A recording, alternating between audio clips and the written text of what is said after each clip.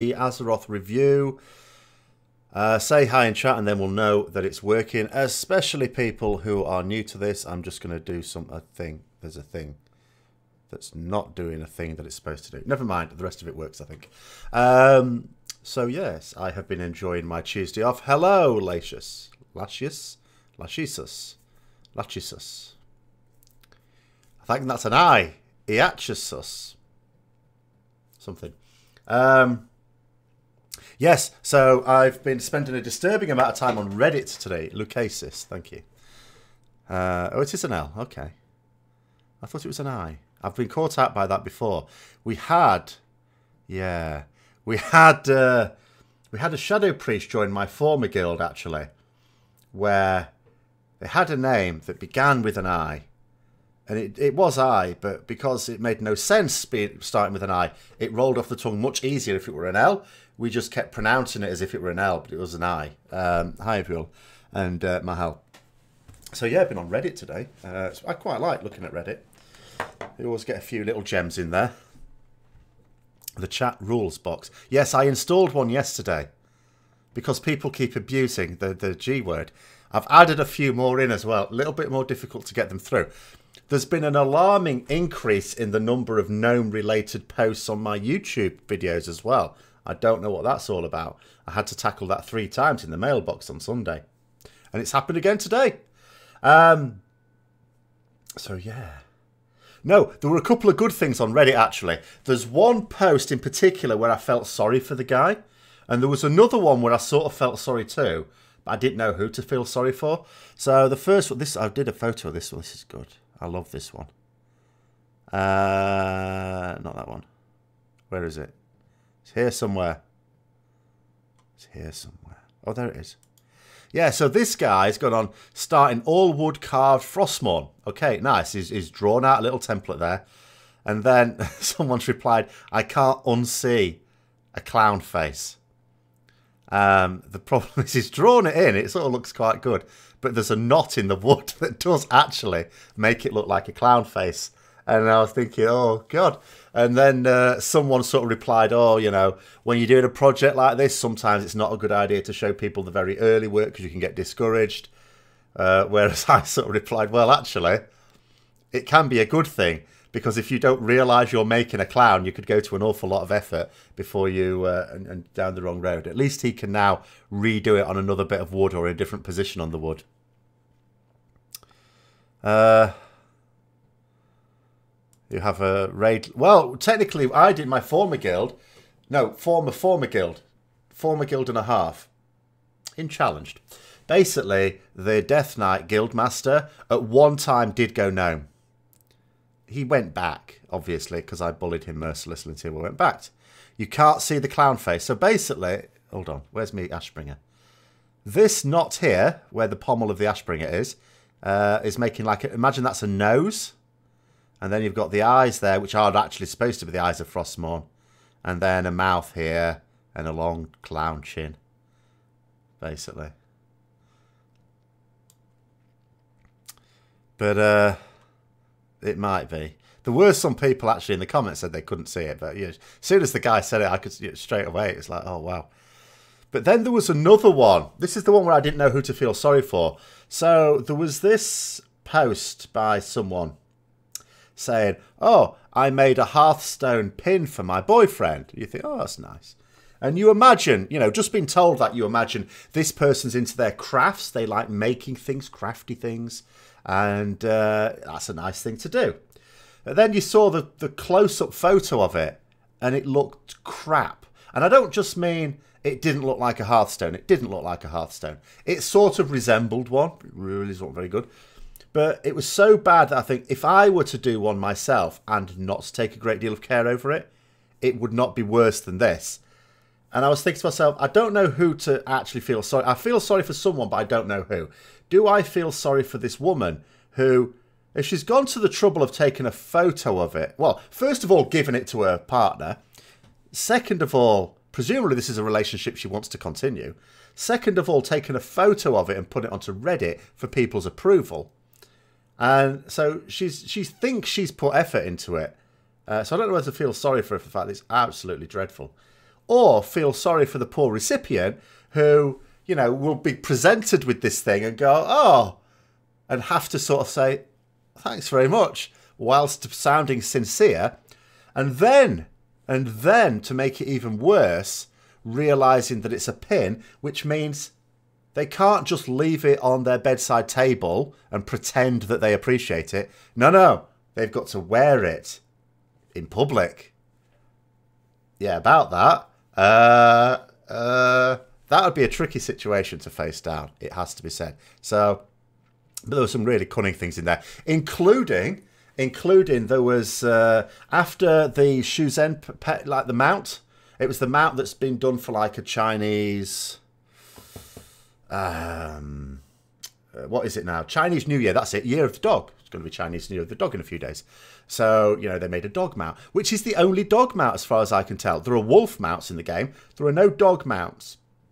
So I was a bit disappointed that we can't have a dog mount. I like dogs, uh, even though it's not my ideal sort of dog a dog mount's a dog mount. And I thought, I'd quite like to get that.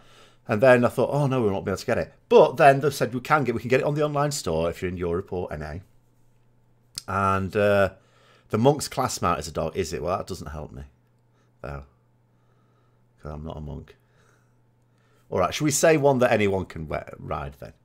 Um, but uh, so yeah, and then someone put a post on Reddit with a before and after thing. If it's a tigerish thing, it's not really a dog, is it? It's really more of a cat. I don't know what the monk one looks like though. I don't know. I don't know. But you know, it can't be a dog and a cat at the same time. Um, that would just make the world end. So yeah, so someone posted before and after, and they showed that the the dog mount had got smaller overnight, basically. And there's a lot of people say it's too small now.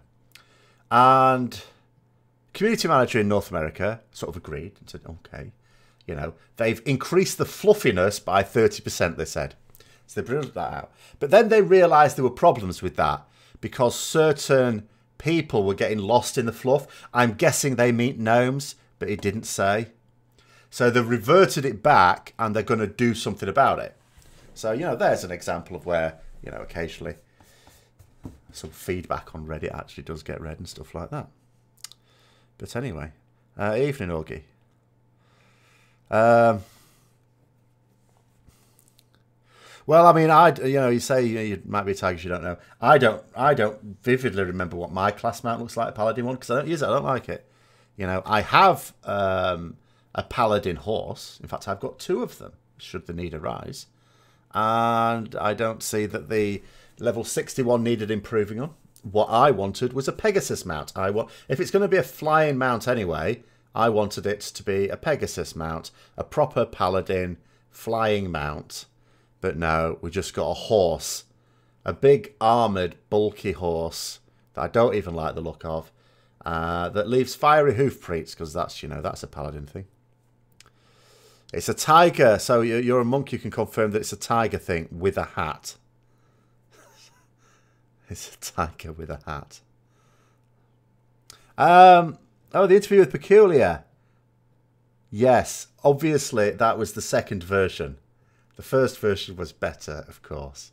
It was very disappointing. Even though Brightpaw was a bit frisky at the start of the first one. So there would have been little bits of it where you would have seen a cat's anus. But, you know, and it, whereas he was quiet in his bed for the second one. So, you know, that was but the actual flow of it was, was obvious. It's obviously always going to be better the first time round when it's more spontaneous, as opposed to when it's almost like going through a script read it the second time because you know what you said the first time, and you're just basically trying to say the same things. Occasionally, some things were a little bit different, some things missed out. So yeah, so I remembered an important lesson, uh, or I learned an important lesson when you're doing a video interview. Make sure you're recording it because you know otherwise that's a bit of a problem.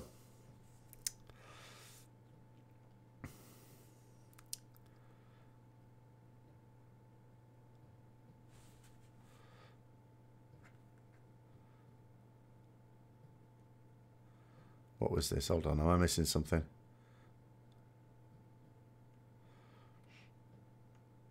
Um, Well, no, there was a bit of umming and ahhing on it. I had never done an interview before, and uh, yeah.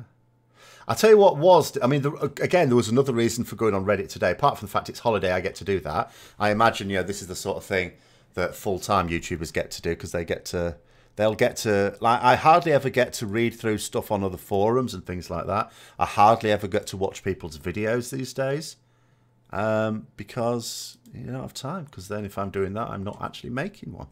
But um, uh, yeah, so uh, one thing that was disappointing to me. So I brought out two videos yesterday.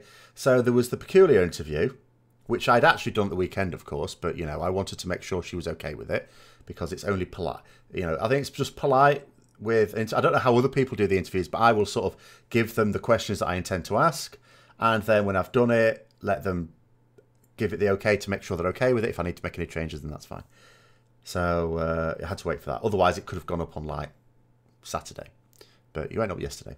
And um, and then the other one, which was on just a little tiny bit of news with to do with weapon scaling.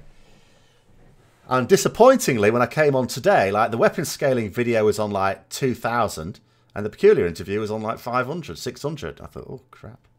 Um, I, I'd have thought it'd be the other way around. I'd have thought there'd been moderate interest in the weapon scaling and a lot of interest in uh, the stuff on data mining and how that works. I was very wrong.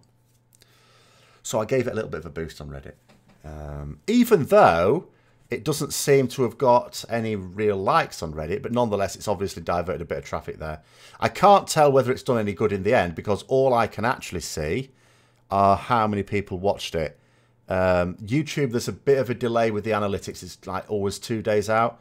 So I can't actually tell if people watched it yet or just clicked on it and went, no, I'm not watching that. Uh, can never tell that for a couple of days. But anyway, uh, so what are we going to be discussing today then? Apart from doing an alpha dance to see if I can actually... I don't know whether they're going to bring out another wave of them out tomorrow. They haven't today. You generally prefer reporting like with the weapon damage change versus data mining. Mine sometimes tend to wonder if things get too technical. Well, I don't think it's very technical. Um, but okay. I don't know. I, I don't know. We're going with attack power instead of weapon damage year. Well, that is what they're doing, though. Uh, and although, like as one comment said, it's going to make a bigger difference to um, it's going to make a bigger difference to spellcasters. Because they, like with melee, like we always get, even with abilities that are based on weapon damage, they're also based on attack power. So, you know, it's always like a bit, whereas with spellcasters, it can be entirely based on that.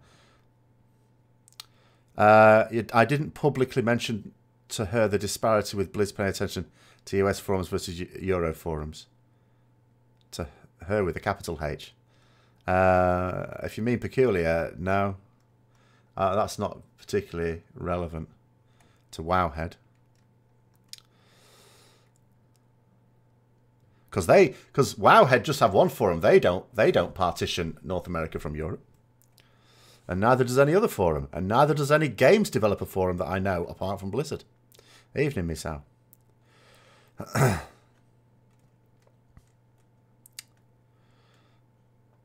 Uh, like the idea of not having to farm specific weapons in favour of just getting better ones. Oh, you mean as opposed to the relics? Yes, that will be better. Yeah. The fact that... Because secondary stats, uh, it obviously depends. Secondary stats may well have an effect. Um, but yeah, it, with relics, of course, you had your nine... For each type of relic, like Holy Fire, whatever you had your you had like nine different was it ten actually now nine or ten different traits you can get on it and yeah there's always ones that are going to be best and the netherlight crucible really didn't help in that regard i mean that just made even more of them really didn't it um, well you say you still have to farm specific weapons to, i'll be honest you know if something's going to have 10 item levels it all depends on stat weights of course like at the moment for me personally and I think the case for a lot of paladins. I can't speak about other classes and specs. Strength is my it sims the lowest. So I know there are some. I think feral, or it used to be, if not, if it, it might still be the case, where item level basically is king because agility is just way stronger than anything else, any of the secondary stats. For me, it's not. The secondary stats are worth more, like on a point per point basis, than any secondary. Uh, sorry, than the primary stat. Which is why, like, it's quite funny. Like with gems, you're allowed one of a 200 primary stat gem. So I can put a 200 strength gem into one item I can only have one of them. It's unique, equipped. But because you can now have 200 haste gems or mastery gems, uh, I wouldn't use a strength gem in anything because it's not as good. So in that situation, then yeah, you will want to farm a specific weapon. But if it ends up that strength for me ends up being the more powerful stat, which it should be, you know, the primary stat should always be worth more than your secondary stats, otherwise why are you calling it the primary stat? Which should mean that actually a weapon that's 10 item levels higher than another one should just be the better one, even with a situation where it's going on to attack power. Um, simming is uh, always going to be here to stay. The thing that really, I mean, simming was always useful. I mean, I did as far back as TBC there was a, a, great little program called Rawr, which was fantastic. Um, there was a lot of control with it as well, and it was very user friendly. That was, you know, the TBC version of RaidBots, really good. Plus, it didn't. It wasn't web based; you could just download it onto your computer, so it was great. Uh, I used that quite a bit, and you could put you could alter quite a lot of things for the type of boss and stuff like that, and. Um, so that's always been the case. But for people that didn't need to do it to the nth degree, there were also such things as BIS lists. Of course, a BIS list didn't help you if you wanted to choose between two items that were not the BIS item. Like there might have been three types of boots in that dungeon, in that raid, and and if you got if you if you had two pairs that were not the BIS one, it still didn't help you to decide which of those two were better. But um, the reason why you really do have to do it now is because of things like Titan Forging. Titan Forging means you can't have a BIS list. You can't. That's all there is to it. Um, there's lots of things that came in Legion that, well, not lots of things. There's a few things that came in Legion that basically meant you just have to sim yourself. You know, relics, especially with the Netherlight Crucible, Titan Forging, legendaries, you know, um, all these things basically meant sim it. Wonder how it'll affect dual wielding classes they have to fire up twice the number of weapons. Yes, they will. And again, with each one potentially being able to Warforge up to 10 item levels higher, um, then yeah, they'll want ideally plus 10 item levels on their two different weapons. Uh, will items be a set like getting the rogue? No, no, no. They'll be individual. They're going back, they said, to individual weapons. That basically means, yeah, a rogue's got to find two of them. Maybe they have a sword in one hand and a dagger in the other. Because that's another thing. There might be a situation where, you know, to be a particular type of robe, maybe, or other way round. Uh, sometimes it has been the case in past expansions that dual wielders occasionally would want their. Actually, didn't enhancement shamans want their best weapon in their offhand? And sometimes, like rogues, would want their slowest weapon in their off. No, Ah, I can't remember. But sometimes you would actually want you know, a fast weapon in one hand and a slow weapon in the other or something like that. There are all sorts of weird things. And that, I don't know whether that would return or not. But you will certainly need to get two. Uh, it does make it harder for dual wielders. But, you know. I have little sympathy for warriors, though, because they can choose not to. And they'll be wanting two of my two-handers. You know, warriors will be nicking my weapons, which they haven't done for an expansion. Oh no, I wouldn't be put off rolling rogue for that reason. Rogues will always still be strong. And there'll be plenty of stuff drop anyway. It'll drop off loads of bosses. I don't think rogues I don't think any rogue I've ever known has ever struggled to get the stuff they needed.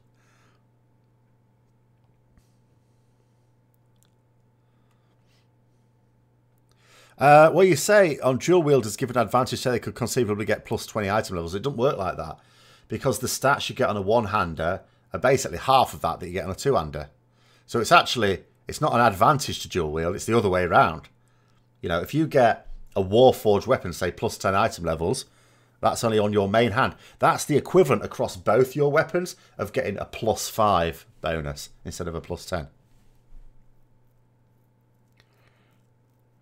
Hi, Smurf. In Ballamore, I've never been to Ballamore. I have no idea. Uh, oh, I'll tell you what I did see yesterday. I didn't. I think they're okay though. I think I'm right because I didn't see anything on the news afterwards. I had to drive down to the hospital yesterday, and it's a pain in the ass. It's like no parking there. It's terrible. But on my way there, down the road, coming down the other way, there was basically a car, and it, okay, it crashed. All right, car crashes happen, but it was right on its roof and there was nothing about the road that could have indicated that. It's not like it's come off and, and there's like a, a, steep embankment that's done that. And I couldn't work out how it ended up on its actual roof, completely upside down. But I didn't see anything on the news, so I'm guessing no one died. So that was good. Um, the return of the hunter weapon. Oh, no, no, no, no, no, no, no. Hunters aren't sharing my weapon. Uh, no, they won't. They'll literally not be sharing my weapon because Oh no. What if there's a really good pole arm? Uh, hopefully I won't want a pole arm. No, it's no. We're not having survival hunters. They can piss off. Who? I mean, who would choose to be melee anyway? When you've got perfectly good range specs, what sort of lunatic does that? I wish they would make dual wielders one weapon, then let you dual wield both of them. Well, you know, they're not. I don't think they're going to. Uh, lots of games do do it, indeed, yeah. But uh, and I can't say for certain because I don't know um, until we start. Well, yeah, until we start, I suppose, seeing um, some actual drops. I mean, it may be that there are some. I don't know. Like with the dungeons, do they have drops yet, or is it because sometimes they don't when it's very early? Uh, they just have like placeholder items, and you can't always tell. But I'd be very surprised if that's the case. I would I would much more uh, be inclined to think that they're going to, you know, just you're going to have to get two. But at the same time, they, you know, when they're working out loot tables, they do bear in mind the number of people that are going to need different things. Um, I mean, daggers, all right. Daggers, you could be in a little bit of bother because they are only really needed by rogues. Uh, and when I say only really needed by rogues, I mean they're only needed by rogues. So. But as I say, I've never in the past ever. It's been my experience that when daggers drop, there's usually no one who wants them because the rogues do tend to get their daggers. And then you just end up with loads of daggers dropping that no bugger can use. So, yeah. You just watch Quinn get trolled by a weak aura. Oh yeah, that one. Yeah, yeah. I know about that week, Aura. Do you know what was really funny though?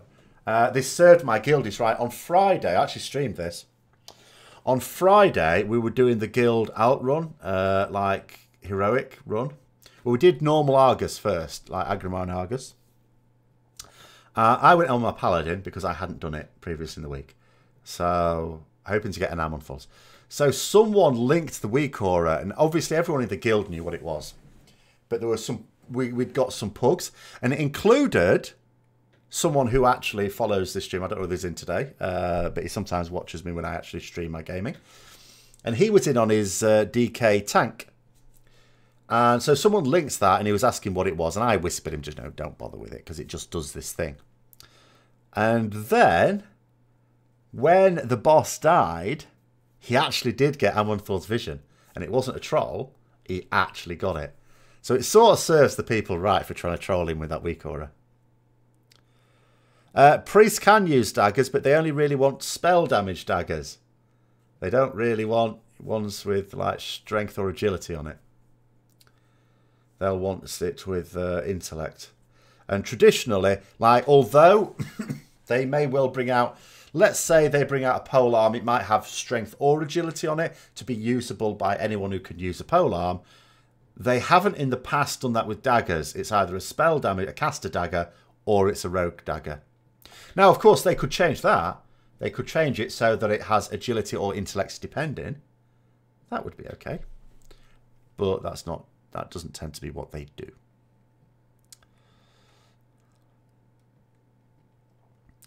I, I didn't end the stream, and I didn't kick. Uh... Oh, sorry. Oh, you mean Quinn? That's a bit. Oh, dear. do you know what? He's a bit. He's a man child. He is, isn't he? Don't weapons just give you primary stats? Uh, no, no, they have secondary stats on. Cloaks have secondary stats on as well. Oh, but do you mean all three? Uh, they haven't done in the past. They have like been able to change between a couple of them. You're making me doubt myself now. Maybe they did. I don't remember anymore. It's too long since I've had weapons. But I do seem to recall that because I remember some specific daggers that used to drop in WoD from the Roly Round boss in uh, Blackrock Foundry. Can't remember its name now. The big snail thing. It wasn't a snail. It was a thing that rolled around a lot. And they were, you know, there was never any casters on there, so I think that was just because it just had agility on it. They're getting rid of... Yeah, I mean, well, weapons will still do damage, um, so it'll still affect your auto attack, but spells will not be based on weapon damage anymore. Oregorger, yeah, that's the one.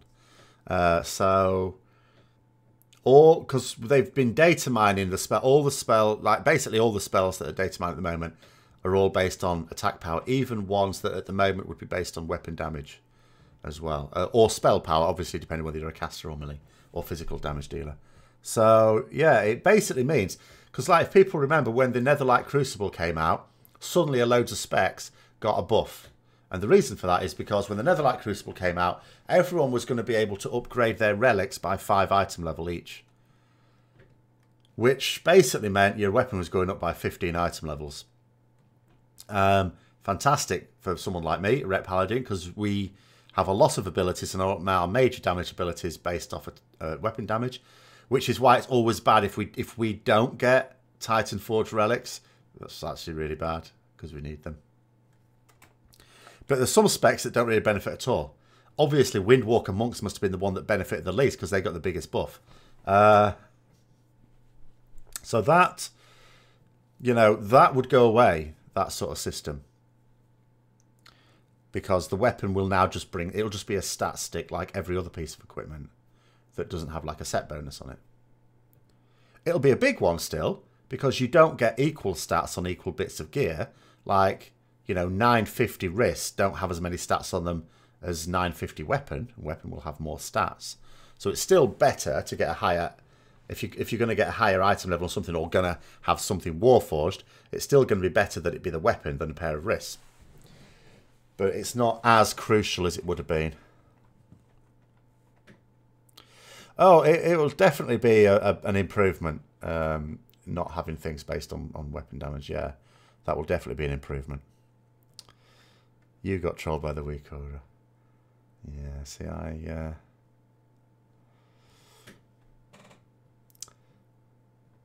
You see, I'd have to be sure. I uh, What did they tell you it did?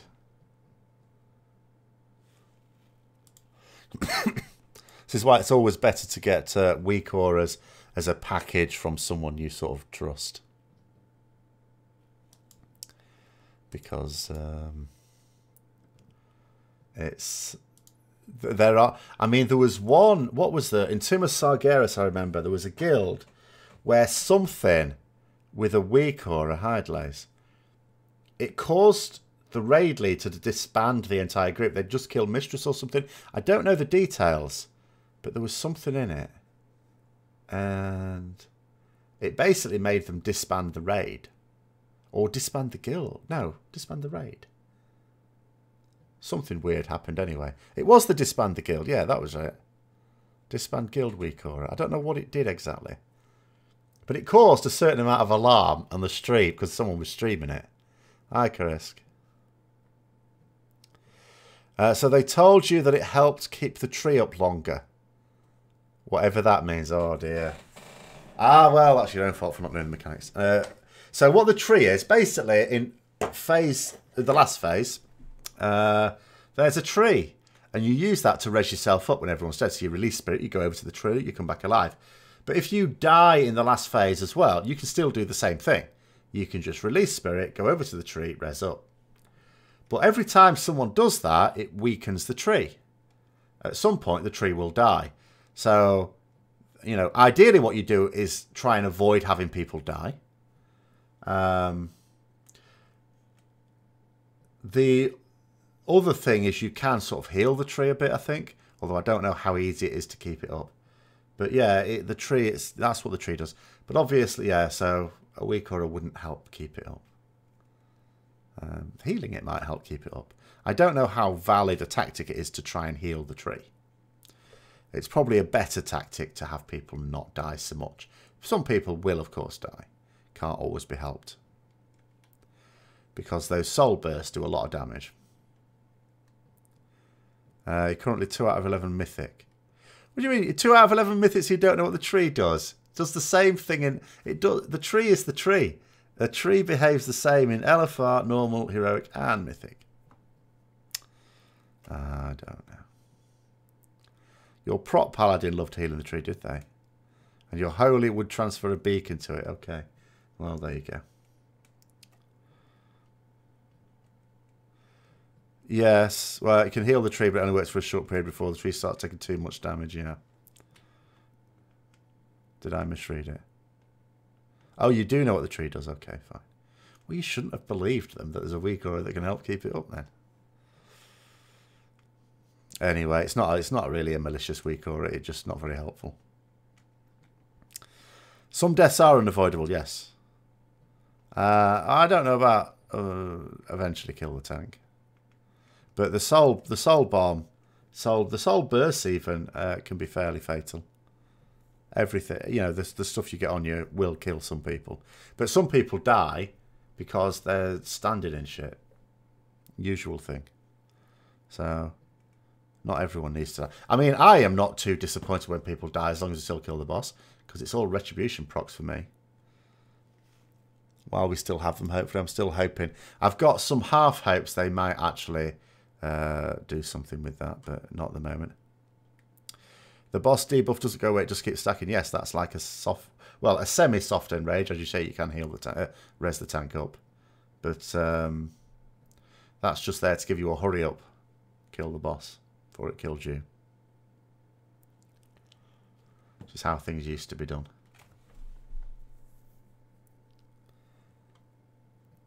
Before they had berserk timers in the initial raid bosses, he'd just do a thing at 20%. Have I posted it on the US forum? No, I need to sit down at some point and uh, plan out what I'm going to say. Because I don't want it to be too much. I don't want it to be a complete, right, you need to do this, this, this, this, this, and this. I want to keep it to three suggestions with some sensible reasoning behind it. Uh, looking at other streamers who've got alpha invite, uh, what are you actually missing at this point? I'm missing. I'm missing an alpha invite. Uh, is what I'm missing. I'm not quite sure I understand the question. Are you are you saying because I have noticed a few streamers say, "Oh, there's not actually a lot of stuff to do on the alpha at the moment," which, from an entertainment point of view, may be true. There is loads to do in the alpha because all right, if you just want to play the alpha, sure, there's not a lot to do. If you want to test the alpha, there's loads to do. You know, I could have been spending like uh, this is my second day of my holiday. I've, it's been fairly chill. It's, it's quite nice. I'm getting a bit of a rest, but I could have spent all yesterday, all today on it, and still be having things planned for tomorrow to do. Uh, but if you're not testing it, if you're not interested in testing it, you're just using it for entertainment purposes, then yeah, there's limited. That's why you just have to make a load of shit up and put a video out on it. Not naming any names. But, uh, but yeah, there's loads to test, but the testing is not necessarily all that fun. Uh, oh, sorry, gear. Currently using a few normal tier pieces. Uh, yeah, the answer will be to sim it without even reading it, but let's have a look. Is tier always better? It, it ought, probably ought to be, There'd have to be a huge range of iron level for it not to be. But yeah, you will, as always, have to sim it. Lots of rage about the alpha and missing abilities right now. I, I keep saying I think it's a good thing because, like, people keep saying they need to wait and see for what happens. You need to put the feedback in because when when they actually release the build that has the classes with all their abilities, it might be too late to do anything about it. People need to be set. Basically, people need to be taking this approach. My class is going to basically be like it is in Legion, but without the artifact abilities. That's your starting point. So what you need to do in your feedback is to say what you think's worked well. You know, keep that. That was all right. That was decent. That works okay. Um, then there might be feedback related to, but you know they're not going to give you a load of artifact abilities. You're going to lose the vast majority of them, come what may. But if there were any one or two, let's say, that were particularly important, then you need to be saying that. And then if there are any things that weren't that great in Legion, you ought to be saying that as well, again, with reasons. That feedback needs to just go in and in and in so that when they come around to spending some development time on, you've got to remember, there's 36 specs, okay? And they don't have a team for each spec. They have a team for classes. Uh, 36 specs. So when they come around to working on one of those specs, they're not going to come back to it and change a load of stuff. They might tweak it a bit.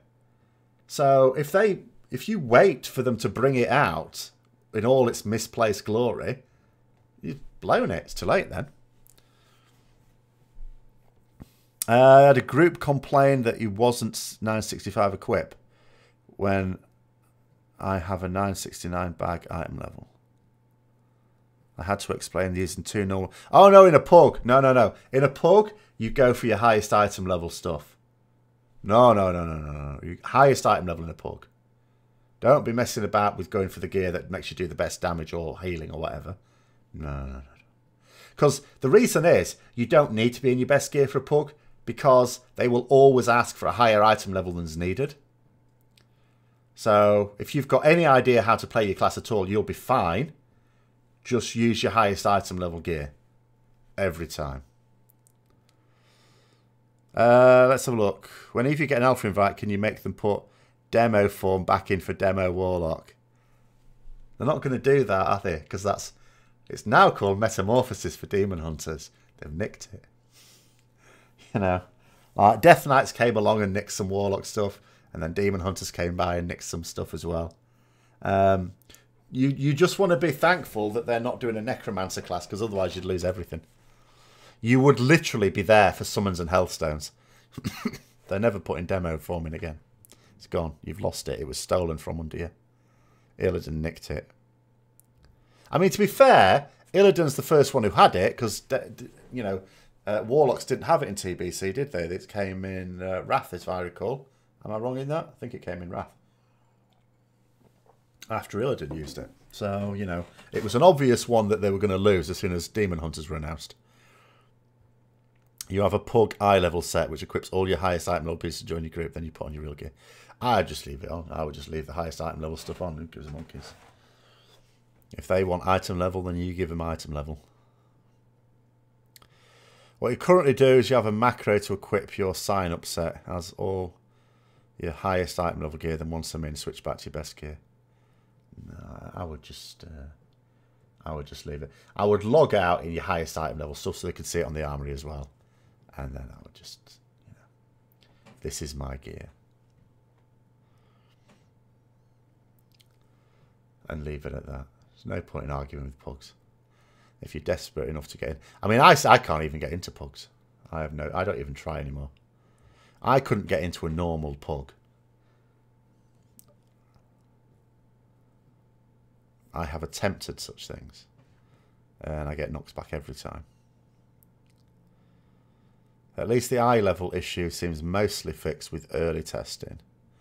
Based on early sims, intelligence is more intellect sorry, is more valuable than any secondary stat for Shadow Priest.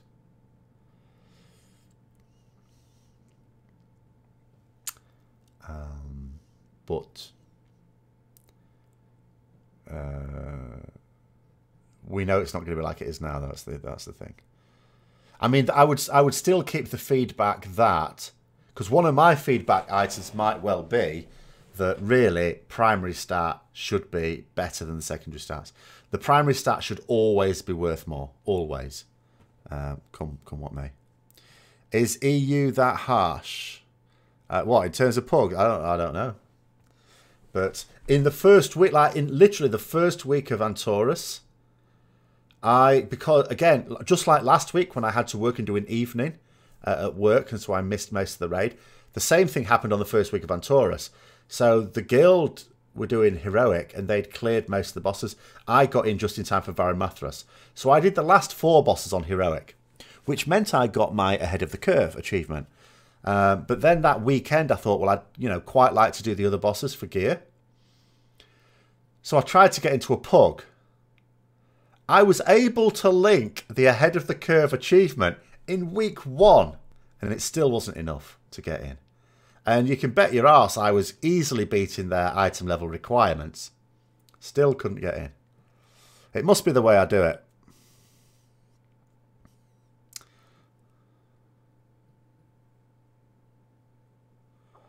Uh, you can't do that because then anyone that looks you up thinks you're stupid for having that random gear on.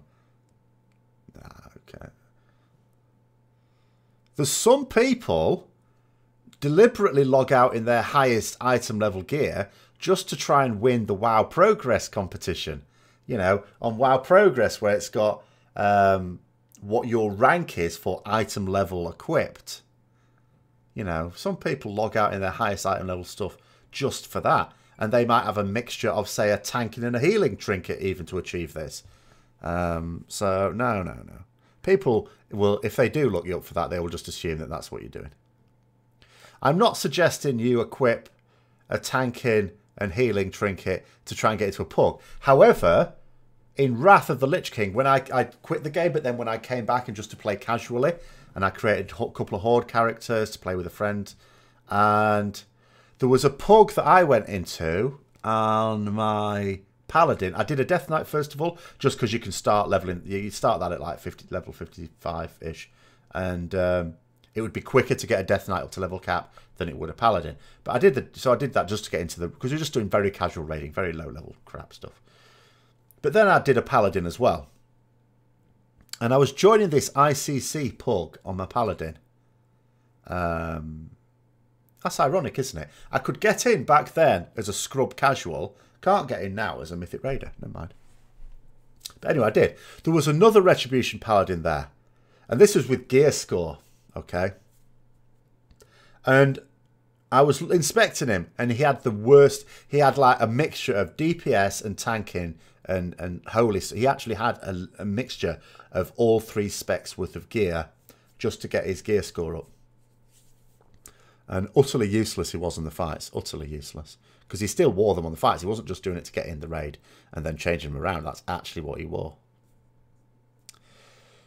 Uh, you can't have primary versus secondary stat debates. They would have to inflate primary stats so much they'd be OP. There's no such thing as OP if it's the same for everyone. It's fine. It's fine. Um, actually, do you know what? To be honest, with having all these abilities based off attack power stroke spell power, um, instead of just some of them being based off that, it might have the effect that primary stats become more important anyway. You know, that's a factor. So it might be that it just naturally sorts itself out just just with that little thing. So it may not be anything they have to do any extra work on anyway. have Blizzard gone far enough with weapons not Titan forging? Uh, or could they go further with rings? There's no justification to do it with rings. Um, they're not going to have it with Heart of Azeroth or Azerite armor, so that's four pieces. What we don't know about those four pieces is whether or not they can Warforge, because just saying they can't Titan Forge isn't the same as saying can't Warforge. I don't know if they have said anything about that, by the way. With weapons, they have confirmed they can Warforge up to 10 item levels and maybe get a socket, but they can't Titan Forge. I think that is enough. I think it's okay because Warforging is not rare. It's uncommon, but it's not it's not as rare as like hoping to get a plus 30 Titan Forge. Like where what do we hope for what's, hang on, what's the cap at the moment? 985, isn't it? So, okay, with Mythic gear, you're hoping it'll Titan Forge up to plus 25 item levels. That's pretty unlikely. But plus 10, that's not so bad. That's not that unlikely. If you do it enough, if you farm it enough, yeah, you've got a decent chance. Evening, Morellis. The issue is always going to be for people who have weapons that are in high demand. I mean, who am I going to be sharing my weapons with? Uh, other Rets, of course. Warriors and Death Knights. So, you know, it could be worse. Because you don't always get a load of those in any guild anyway. Whereas caster staffs, um, you know, you're talking boomkins, shadow priests, warlocks, mages, um, well, any priests actually, I suppose. Resto druids, also druids, priests, mages, warlocks, uh, elemental shaman. So five classes, all wanting those.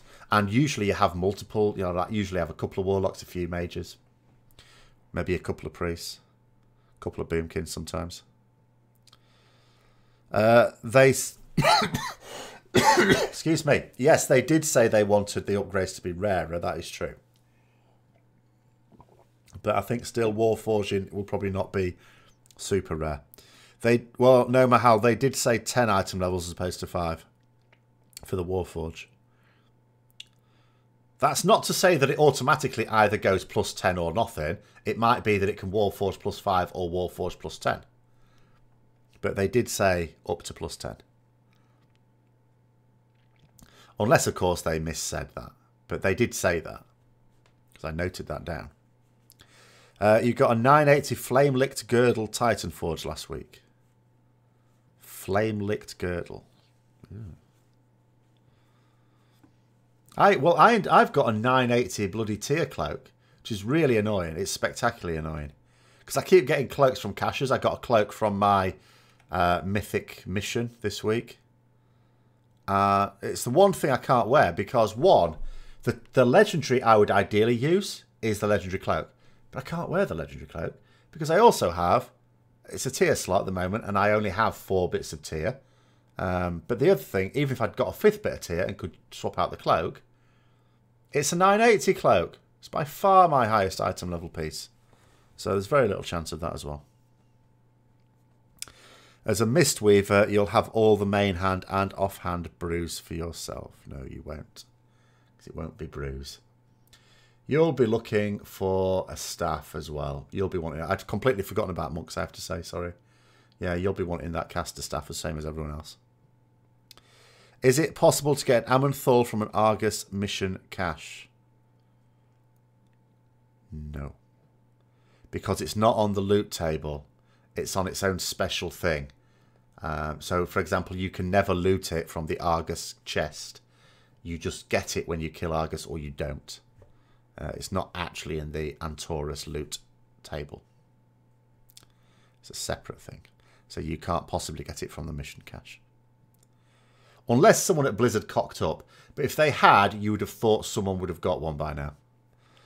Uh, you got a 980 Drape of Shame. Drape of Shame, sorry, from the weekly Cache, and you was in Ret's loot spec. Oh yeah, I've I've had Drapes of Shame as Rhett uh, from uh, doing Karazhan. Uh, I've never got to keep one because I'm somehow I'm quite lucky with them. Whenever I get a Drape of Shame in Karazhan, it tends to be quite high item level, and the healer always. Oh, I love that. Um, so I've never actually got to keep one, but yeah, I, I, I mean I've been Ret spec and got that because although the healing thing obviously is nothing for Ret, it's still a cloak. Most cloaks don't have an effect on them, that's why. So it's still just a cloak with stats, and it just has that bonus effect on it, that's all. Sim doesn't say that a 980 tier cloak isn't better than Whisper. Well, no, it will say that the Whisper is better than 980 tier cloak. What it won't say is that it's what is what the Whisper is not better than is my four set bonus plus the other two legendary. It's not a case of either I equip the legendary cloak or I don't. I swap it with another legendary. It's not that much better than the other legendary that I can swap out a 980 item level piece for like a 960 piece. Everyone forgets about monks. I apologise. You don't see very many of them. Well, not wind. Uh, no, sorry, mist weavers anyway. Uh, are Blizz changing the Mythic Plus affixes in BFA? Oh, I would have thought so, yeah. I think, you know, Mythic Plus has gone pretty well, but they're bound to do something just to do something new. Yeah, I can absolutely... I haven't heard any details either, but I, I reckon they'll do something um, just to change it up, if nothing. It's not that there's anything specifically wrong with Mythic Plus. There are some suggestions I would have about it. Maybe I should do, actually, now that I'm paid for it, maybe I should do loads of posts on the US forums. You know, I'll do a post on Ret Paladins, I'll do a post on Mythic Plus, I'll do a post on everything I can think of. I'll do a post in every single forum uh, section. See how that goes. Actually, no, I've only got a week. Actually, I've gone two days through my week off now. It's going, it's going too quickly. I'm going to be back at work before I know it. I haven't even won the lottery yet. Um, so yeah, I, I, can see them do that. I don't think they'll. There's no need for any big change with Mythic Plus because it sort of works. Do you know what I saw though on Twitter today? I thought this was a great idea. Um, this was for Elder Scrolls Online, and it's advertising a team for, of developers who are going to be. It says an all-star team of ESO developers is taking on veteran hard mode Scalecaller Peak, which I guess is one of the new dungeons. Uh, wouldn't it be great if Blizzard like uh, streamed their own Mythic Plus team doing some Mythic Plus dungeons? That would be quite good at community engagement. You know, get a team of their best Mythic Plus dungeoneers just to stream a few. I might even watch that. Um, does random stats and weapons give us good reason to want Reforge back in the game. We already have reasons for wanting Reforge back in the game, but Blizzard don't want it. So, you know. They don't give any reason that sounds logical, so they have some other reason. But whatever their reason is, it's not coming back because, you know, they don't want it, and there's not enough of a fuss being made about it. Just Titan Forging alone makes it reforging a thing that's worth bringing back. Um, but anyway. Go with the Holy Priest healer with the Legendary Cloak. They'll pass on it. Well, yes, okay, they would pass on it.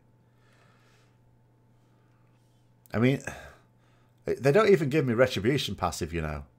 Those bloody things.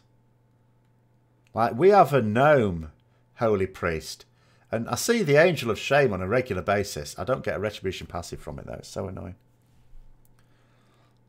You got Drape of Shame and your Guardian Druid was in God. Yeah, because it's it's because it's a cloak. They don't they don't. It's not an accepted thing that there are melee cloaks and tanking cloaks and caster cloaks and healer cloaks. There are just cloaks. They're not specific to specific specs. It just so happens that the Drape of Shame has a healer effect on it, a healing effect. Um, it's a bit like the ring that increases your auto attack damage. A caster can get that. It's just, you know, because rings are not normally specific. Especially now they don't have primary stats on them at all. Your friend who is a wreck got a 980 Titan Forge Scourge Wing. Yeah. They all seem to be getting those set me. i am still stuck with my 945 one. Which is still better than 960 trinket I have. And the 960 trinket's a good trinket. But it's not as good as that. Uh, you'd love to watch an all all Blizzard Mythic Plus or Mythic Raid. Oh yeah, Mythic Raid is even better. Yeah, obviously not when it's first come out. That's just silly. But yeah, maybe uh, maybe at the end of a tier they just stream one night uh, an actual raid team that just does it. That'd be quite good. They'd have to be very careful with their select their roster selection though, because woe betide them. Uh, if there's a particular spec missing, which of course there has to be with only 20 people, then all of a sudden everyone will be on the forums going, even Blizzard know that this spec is shit because they didn't even take it on their thing. So maybe they wouldn't do the Mythic Raid just because of that. But a Mythic Plus dungeon, yeah, they could do that. That would they wouldn't attract any. Uh, would, I don't think there'd be any negative consequences of doing that. At this point, you question how many people at Blizzard do anything more than pet battle and some casual heroic raiding. Uh, I mean, it's possible that not many do more than that. Um, one of the unfortunate things, I guess, of working in an industry like that where it's not like normal office hours because even though you know they'll still go home and stuff like that they'll they're much more likely to be thinking of stuff to do with their work. At the end of the day if you enjoy your work you'll naturally do that. Um, so it might not give much time for it. It's a bit like you know full-time youtubers full-time youtubers almost never do any hard mode content in the game because there's no time for it like even Asmongold's had to knock it on the head for a little bit. Your Holy Priest got 985 Ring of Collapsing Futures, the win with the on-use damage ability. Well, you know, but yeah, well, that's it, exactly, exactly. Quad Erats Demonstrandum. You know, rings and cloaks are just the rings and cloaks.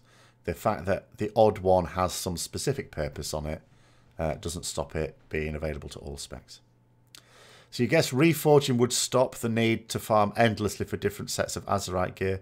Oh, no, no, no, no. Because the Azerite gear will have special effects on them. Um, that's not stats. so reforging wouldn't stop that. You will still have to go and uh, find the Azerite gear you need. I can see myself, you know, if I think it's bad at the moment with all the legendary stuff I've got in my bags, I can't even begin to dread what my bags are going to look like with all the bloody uh, gear I'm going to end up in it. Because I'll have this stuff and I'll be going, uh, it might come in useful one day. I'd better hold on to it. Because what I used to do uh, the start of Legion, like I would get stuff from dungeons and think, no, it's no good to me yet. But it might be. So I used to keep it and I'd put it in the bank and stuff like that. And then what I'd have to do every few weeks, I'd have to go to the bank and go, well, okay, it's now it's now too low item level to ever be useful. So then I would disenchant it. Uh, I need to do that again. Every now and then I just have a clear through my bags because it's stuff that I never use, but I keep it just in case. But then eventually it just falls, you know, the item level of the stuff I have now just becomes too high. And you know it'll never be useful then. World first team versus Blizz team race. Uh, well, no, you could. I'm sure they could put together a, a decent team. The thing is, though, they'd be able to choose whatever gear they wanted, wouldn't they?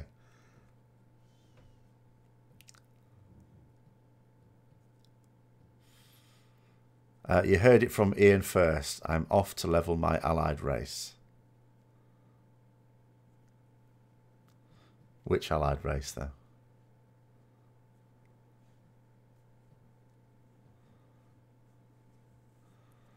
They wouldn't need all the tank specs. No, they wouldn't. Is it true they are putting some of the legendary perks into classes as abilities? I've not heard that. It is possible that some of the legendary uh, effects might find their way onto Azerite armor. That's possible. Um, it's not impossible that it couldn't find its way into certain talents and stuff though, or you know, or, or other abilities, um, I think it's much more likely to find its way into Azerite armor though. The way you see it, the Azerite armor consolidates the artifact, legendary, and tier. Yes, it does. That's exactly what it does. That's what it's intended for. Which doesn't excuse quite some of the things that in the because that's the thing at the moment. Like you can't, we can't data mine any Azerite gear, so we don't know what sort of things it's got on it. Um, so it's a bit of guesswork, really. But that doesn't mean to say there's no value in posting class-based feedback. Because by the time we do see it, it might be a little late. Because even when we start to see some of it, well, that's not all of it. I don't know when it's going to be that we start to see all of it. It might be quite late on.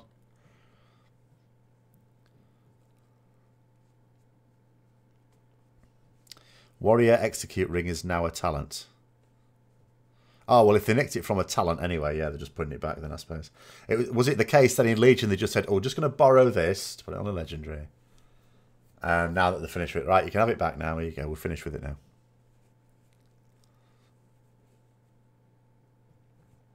Think of all the gold I'll blow on Transmog with all those sets. I blow my gold on Transmog anyway. I changed my Transmog again yesterday. I've turned back to, uh, or was it today? It might have been today. I've turned back to my vanilla into my vanilla PvP set.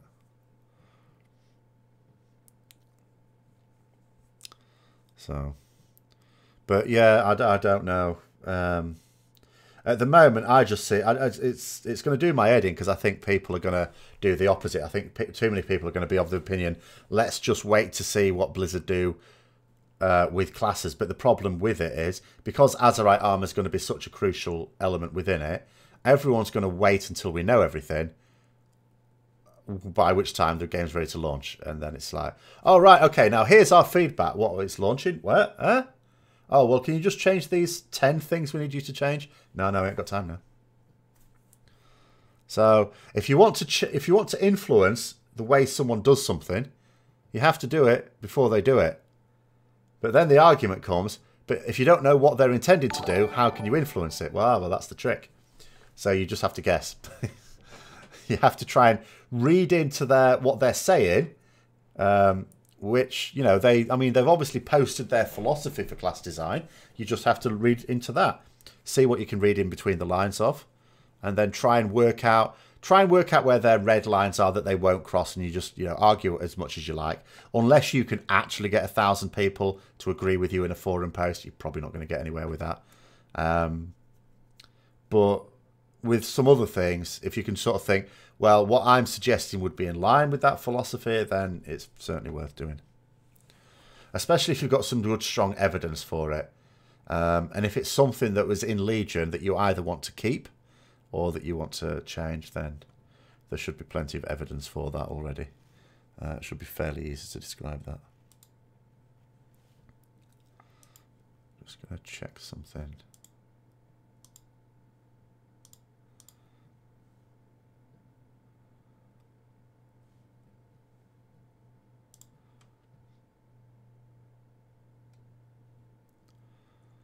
Uh,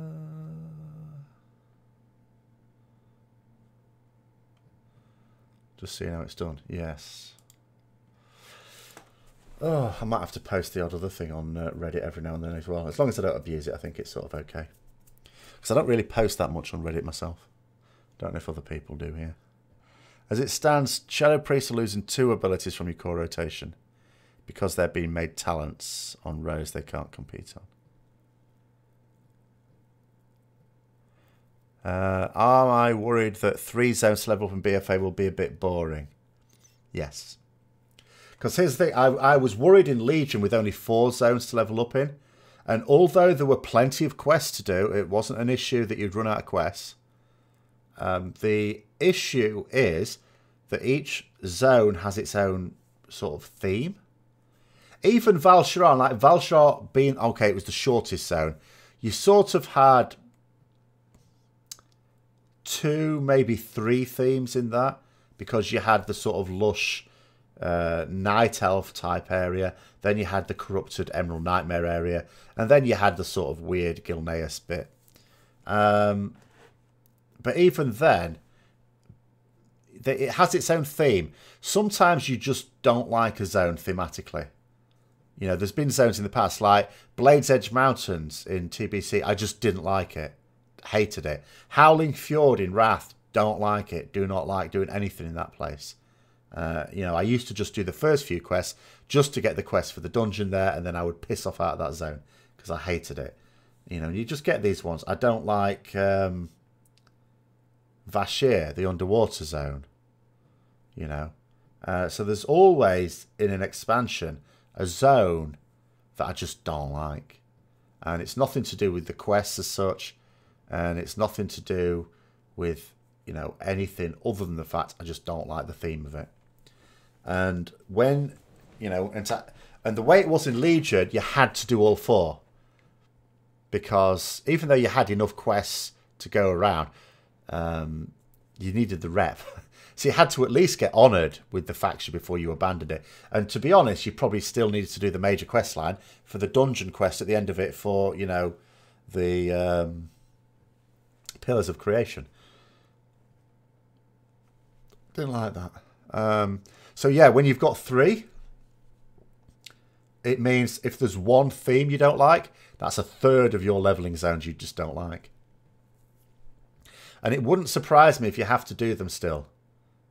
Like in past expansions, you didn't always have to do them. So, you know, Blades Edge Mountains, I was in it for a bit and then I left because I didn't like it. It didn't really make me suffer significantly as a result of it. Not doing much of Howling Fjord, again, it wasn't a problem. Whereas now, they, they sort of make it so that you sort of have to. Uh, you think that since WoW is now the kind of theme park MMO, or I think all MMOs are theme park ultimately. Uh, and when you say eventually every continent gets boring, like when you're talking about the difference between theme park and so-called sandbox, sandbox, by its definition, has no purpose. So it can be interesting for some people. Like Minecraft is your ultimate, I suppose. Not that I've ever played Minecraft, but I can imagine that's your like ultimate sandbox because there is, you know, there's no objectives in it that's set for you. So you just do your own thing. So which is fine. Um, but with a role-playing game, I like there to be a storyline to pursue. That basically means it has to be a theme park one, ultimately. Now, it doesn't have to be as on rails as sometimes it is. Um, although the most on rail ones I've ever played is Star Wars: The Old Republic. You get no choice about anything there. Um, in terms of where you go, you always have to go. You go through the same quest in the same order, and there's no say about that. The introduction was so good, where everything seemed happy and druids had just been druids, then everything just goes to crap. Yeah, well, that's Val'sharah, but that's the only one where the theme even changed. All the other zones were just the same throughout. So Stormheim just felt the same everywhere. I know there was the bit where you go into like the underworld thing, Helya's area, Stormheim thingy. What's it? Um, what do we call it now? I don't know. Her little realm, her little underworld realm. Uh, that was obviously a little bit different, but you're not there for very long. And then uh, Azsuna was the same all the way throughout. Helheim, thank you. That's it, yeah. And High Mountain was the same. High Mountain I really didn't like. Didn't like High Mountain. And yet High Mountain had the most to do in it. Val'sharah you could finish off really quickly. High Mountain, bloody ages. And that's without doing all the little side, because there were more side quests there than any other zone as well. Um, in terms of the leveling zones, in terms of the leveling stuff. There are different stories in all the zones. It's not the stories I had an issue with. Like, I didn't mind the stories in High Mountain. I just didn't like the theme of the zone. Don't like it. It's crap. Uh, he thought the whole Cenarius and Malfurion hostage situation was extremely cringe. Yes, it was. Uh, it was pretty bad. It was, and and Malfurion. I don't know whether it was an illusion or him his actual voice. All that wailing for Tyrande to save him is absolute madness.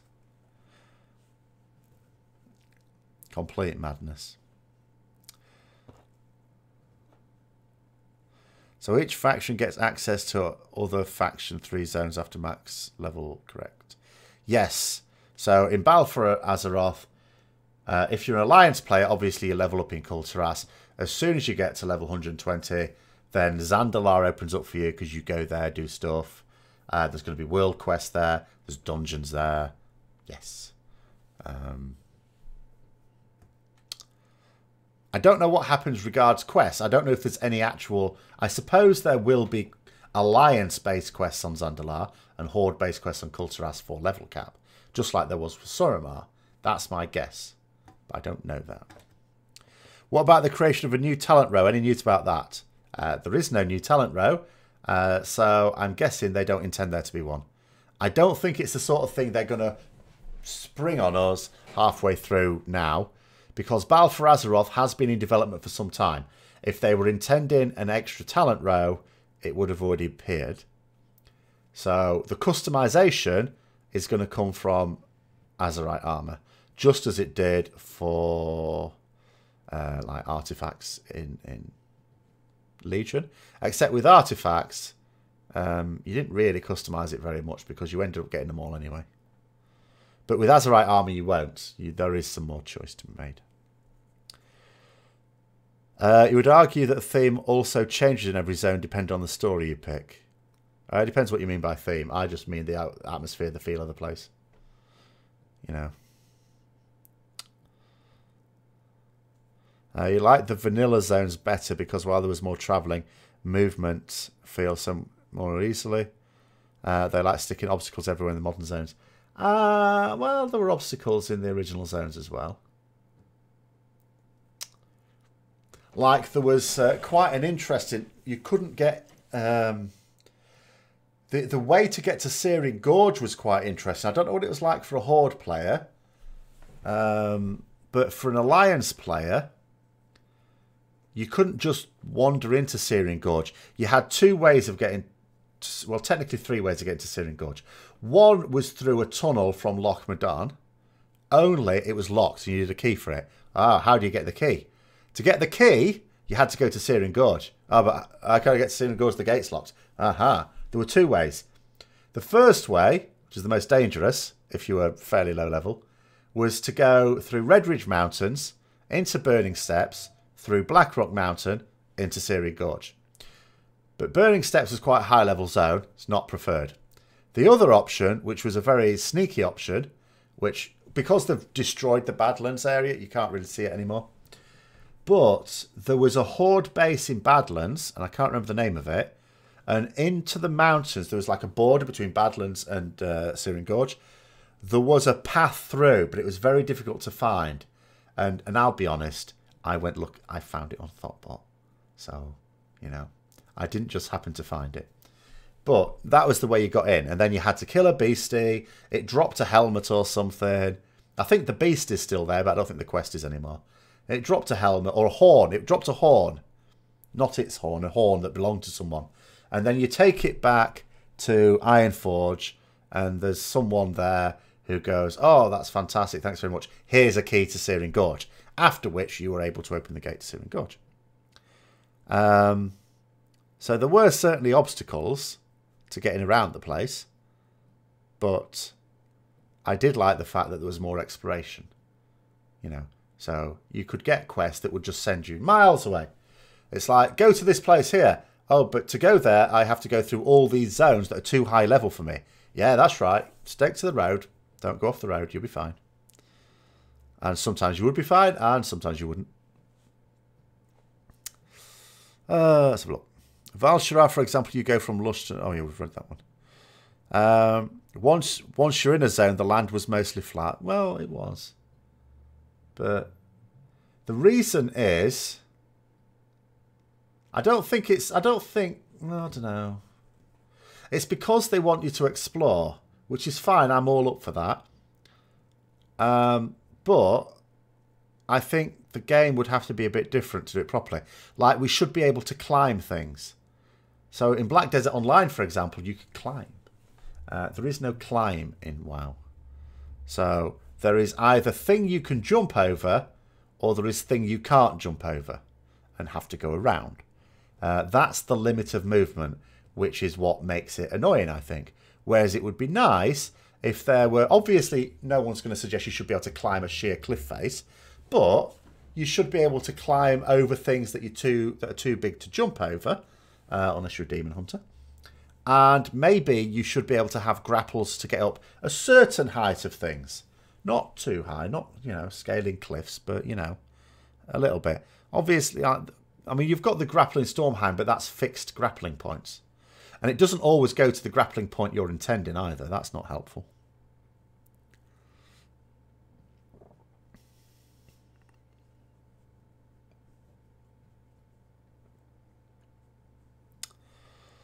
Uh, like it when you actually got abilities or passives while going up the 10 levels to max cap.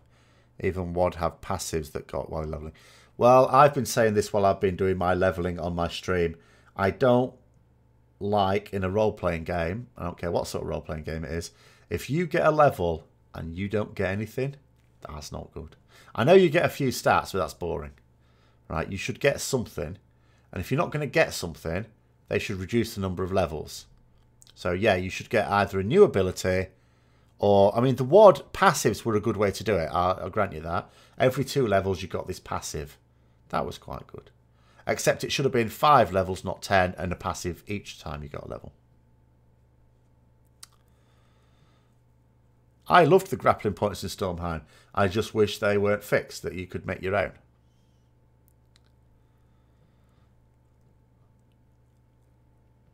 because they that you know that would add to You know, they could put then little things in places like the treasure chest in places where you would need to consider how you're going to get there. A bit like a climbing wall. You know, you go to like a sports centre, you have a climbing wall, and sometimes it's not just a case of climbing up. Sometimes you have to work out the best route to get to where you want to get because it's not obvious just by looking at it. Uh, miss getting a talent point every level, yes. Well, it's not just the reward aspect of it, it's the fact that you're getting something that changes your character. Your character's gone up a level, therefore it's better than it was. Whereas now what happens is your character goes up a level, it's no better than it was. In theory it is, it's got a few more stats, but it's not because apart from, you know, and this isn't an anti-scaling thing because I like scaling, but the scaling stops you from, you actually get worse, in fact. When you're leveling, when you get a level, you get worse. Uh, because you know, there's with now heirloom gear, your stat ratings remain the same on the gear you had, but what they're worth is less. So your actual percentage haste and crit and mastery and versatility goes down each level. So you actually become more useless each level. It's regressive, and that's really bad. Evening, Lamnakin. Uh, you were thinking last night, what if they made contemplation a useless paladin cosmetic ability? I don't know about useless, but it is cosmetic and turned it into a paladin version of Transcendence, where you can turn into a light and travel at the speed of light like Transcendence.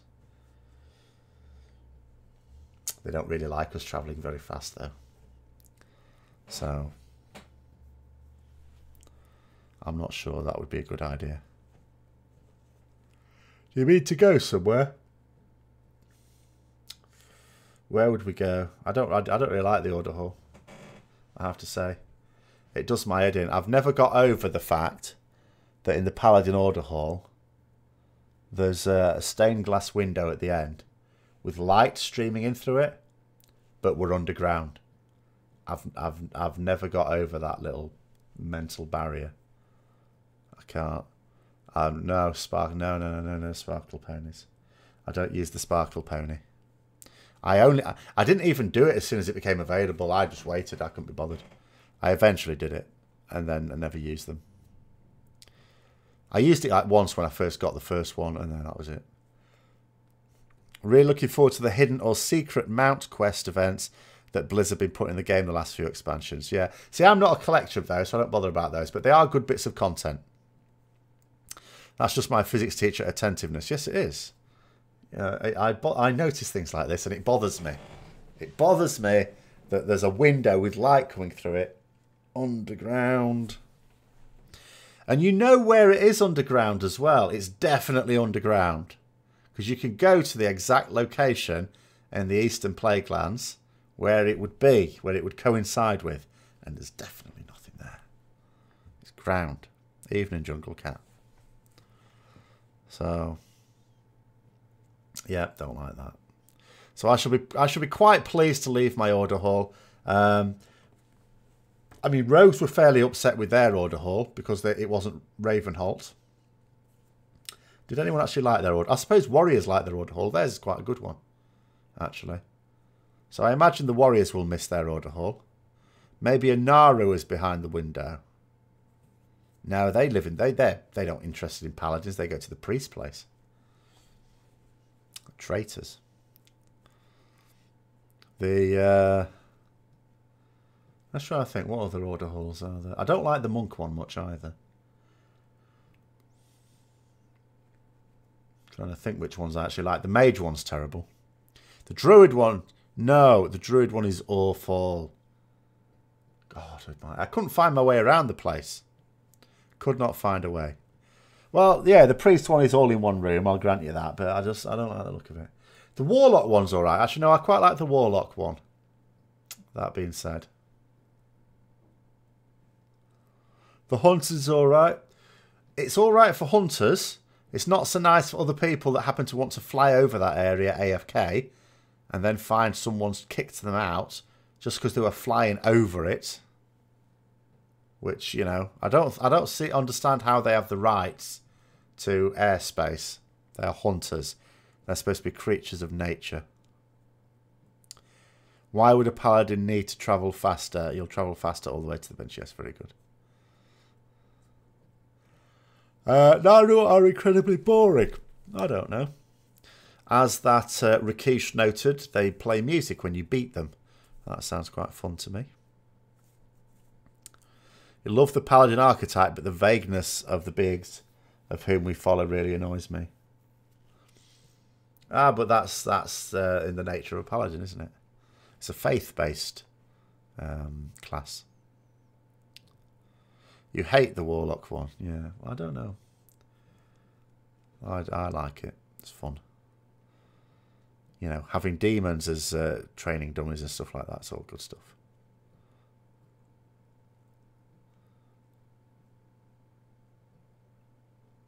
Are we getting halls again in BFA? Not that I know of, no. If No, I say not that I know of. I actually think the answer is no.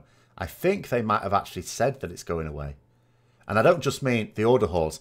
I think, I could be wrong in this, don't quote me. I think they've actually said that the whole mission stuff is going away as well. Like the, the mission table. I think that's going. I think it was considered um, a failed experiment in WoD but it still made it into Legion because they did those two in parallel. Legion and WoD were developed in parallel, so they couldn't get rid of it. They could change it a bit, which they did. They changed it a bit, but they couldn't actually get rid of it. I don't think they see it as a as something they want to continue with. So I think, could be wrong, I think they're just getting rid of that whole thing. Do Dark Iron Dwarfs really fit as paladins? In my view, no. But unfortunately, I can't really argue against it because as people keep pointing out, there were, there are, in fact, not were, are Dark Irons in Blackrock Depths who use paladin abilities, like even Bubble. Um, so it's very difficult for me to argue against them.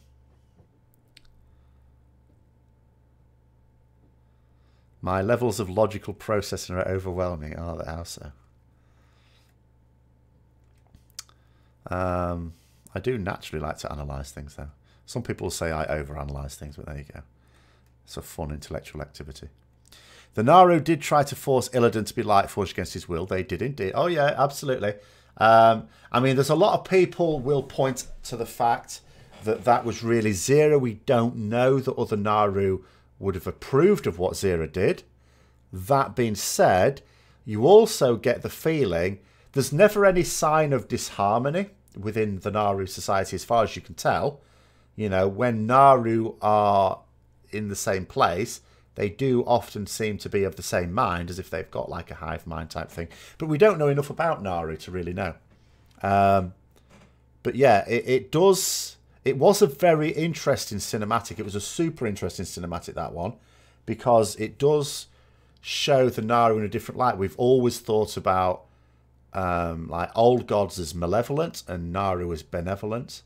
Whereas now, as I say, it's it's that fairly interesting, although unoriginal storyline of potentially they're just two different political parties, if you like, and they're both using us for their own ends. It's not that any one of them is good and one is bad, they just have different approaches. Very much like the Babylon 5 storyline, which is what it put me in mind of. Made you quite embarrassed for Turalyon. Well, Turalyon was lied lighted fair. Even Velen, who is a big, you know, Go Naaru champion, uh, even he was saying to Turalyon that mm, they haven't really told you everything they probably should have done. You know, he was basically saying, in fairly subtle terms, you've been lied to by the Naaru. You know, they've kept things from you. So, yeah, little bit of naughtiness on the part of Naaru in this expansion. What Legion taught you, Paladins worship space crystals. Uh, yes. So what new content can we expect in the next couple of months, up to and after Easter? Any ideas? Yes, because in that Forbes interview, Afrasiabi was saying that there's going to. He said he didn't just say because like we we know there's got to be some storyline bridging the gap between where we are now and a bit Battle for Azeroth. For example, the war has to start up because the war will already be in full flow by the time Battle for Azeroth starts. Uh, the tree, Darnassus, is going to be set on fire. And I also get the well, we know this. No, we know this because they've stated as much. Lordaeron will be under siege during Legion, not Battle for Azeroth. The siege will take place during Legion. So we already knew that, but Afrasiabi was saying, admittedly, he talked a lot of shit in that interview, but he was saying there's a lot of storyline to come in Legion. So there is going to be content. I still am more than 50% sure it might involve a small raid, maybe a dungeon. Uh, but I'm only just over 50% sure of that now. I used to be like 99% sure of it. I'm less sure now because they're still not. There's nothing on the PTR and they haven't said anything. Uh, that's a bit concerning. But yes, so we do know there's going to be storyline based content coming and a lot of it, as he said. He did literally say there's a lot to come. So more than just the burning of, of uh, and uh, the siege of Lordaeron. But that at least is fairly momentous. So it looks like the Worgen are going to have to look for another adoptive home. I don't know where that's going to be. Uh, I guess Stormwind. Those summoning guys on the Broken Shore is at it again. Yes, I know, yeah. Velen's utter disinterest in Xe'ra being destroyed is like a priest or pastor losing overall faith during a zombie apocalypse. I don't know that. I think he's just a bit more pragmatic than sometimes we've given him credit for. Uh, oh, hold on. What were we saying here? Hold on. Order Hall resources are a success. I mean, who wouldn't want to have 100,000 of those laying around? I, mine's actually been diminishing since because I've stopped doing world quests. There's no point in them anymore. Um, so yeah, but I've still got plenty to go. I mean, if I I know there's someone in my guild who's actually run out. He can't even send off a mission, uh, which is I I wouldn't let it get that bad. I would go out and farm. Uh, I'm actually I could just trade bloods in for them. Actually, couldn't I? I've got loads of bloods of Sargeras. Yeah, I, I don't even I don't have to do world quests ever again. It's fantastic. Um,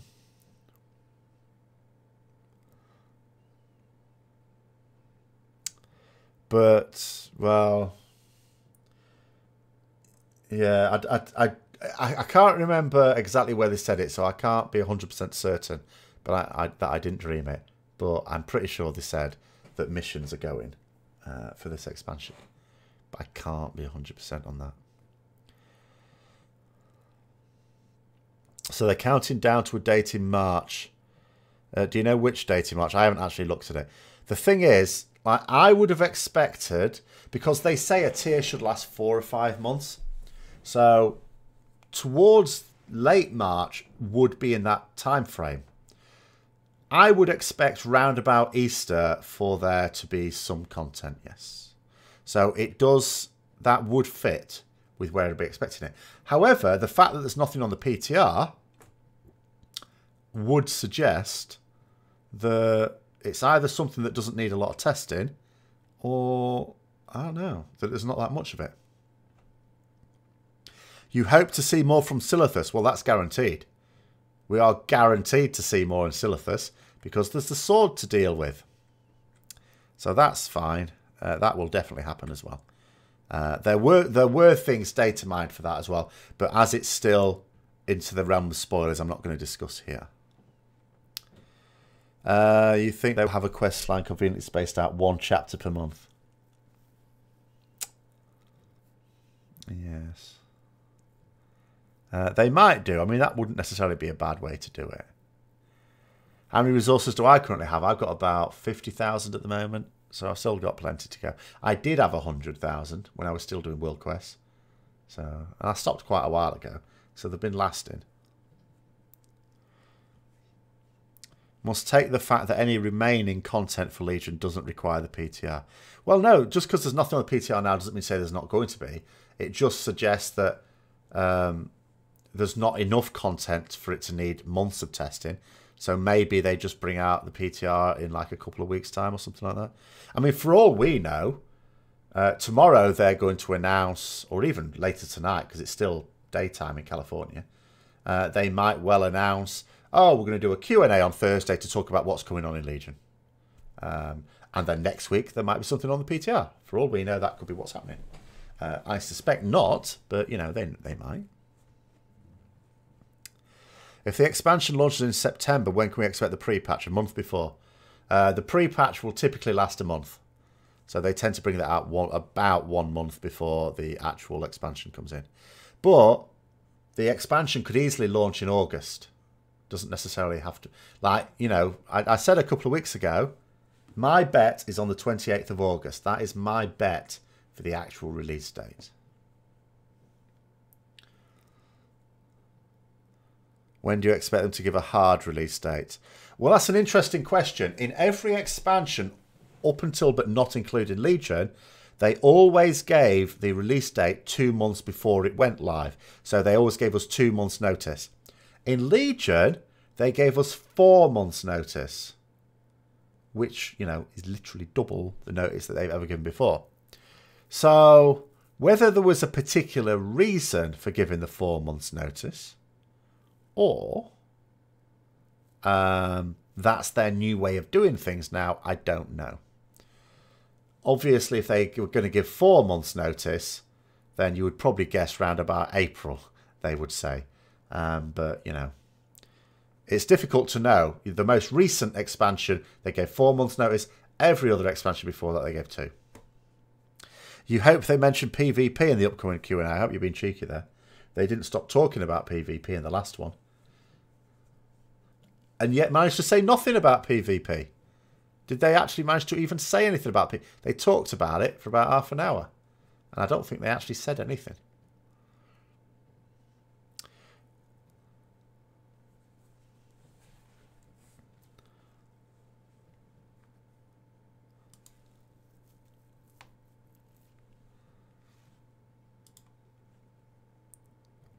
Oh, hang on.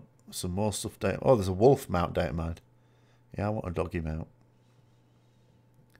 Got enough wolf mounts.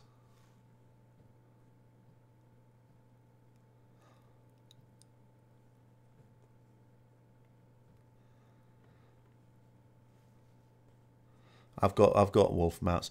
The best wolf mount actually was for the uh, what was it now? Was it the it might have been the achievements for Siege of Orgrimmar. I think it was for doing the achievement run in Siege of Orgrimmar. Um, I quite I sometimes use that on a few of my characters. And it goes quite well with Pandaren. Oh, you need a frog mount. Well, there was a bee mount, wasn't there? Uh, data mount for Battle for Azeroth. Although I don't know if that's intended for players. But that would be interesting if we could get a bee mount. Giant bee mount.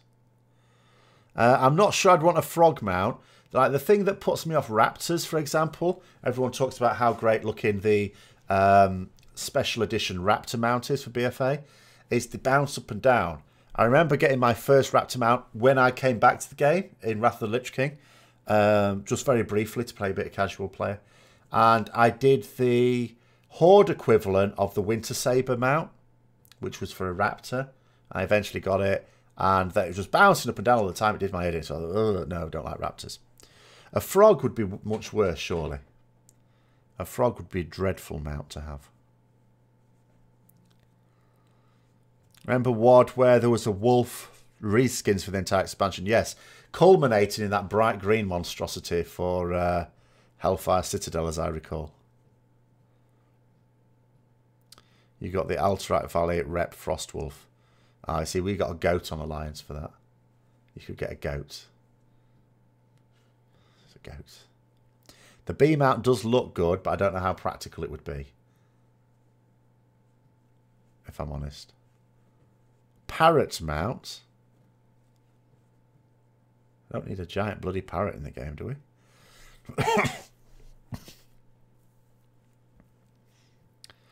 no, what I want is a Pegasus mount for my paladin. You know, if they give... I mean, they seem to do, you know, class-based mounts once every 12 years. So it might, you know, I don't think the game will still be running another 12 years' time. But if they get the chance, they want a Pegasus mount. Can't believe they came up with that shit.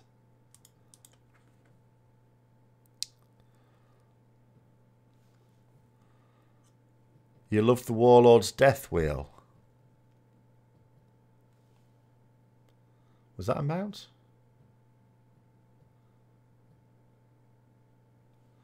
That, was that available as a mount? I don't have that in that case then.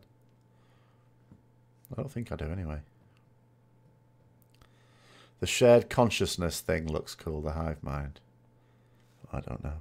Just seeing some uh, some more models being data mined. There's some new versions of Harvest Golems, which look quite neat.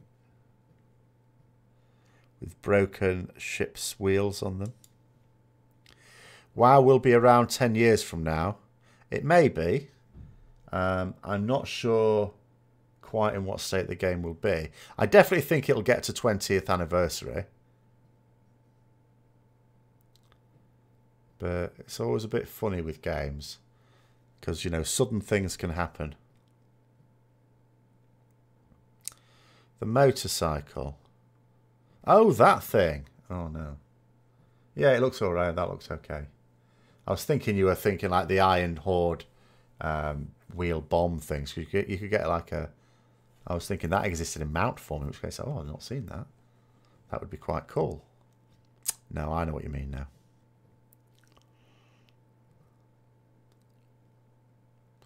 Yeah, Horde got it for free. Alliance had to pay for theirs. Although, to be fair, the Alliance one did look shit. So, you know. I never did buy it.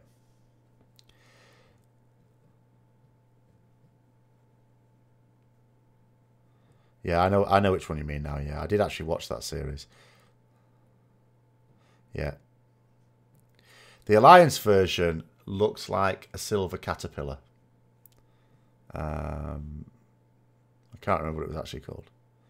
No, the Horde one actually looked okay. The Alliance one didn't. The Alliance one did not deserve to win. You can buy it. If there's a vendor in the trade district in Stormwind where you can buy it from. It costs a hundred thousand, I think. Find it hilarious how the Horde winning the Death Wheel ended up making the Champion's Treadblade that much cooler to have.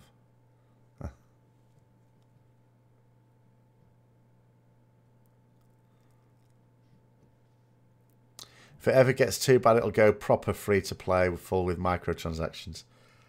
Mm, I, I'm not sure that I, I don't think Blizzard would be silly enough to just let it get bad before they do anything because I have no doubt they must have succession plans for the Warcraft franchise in whatever format they happen to be.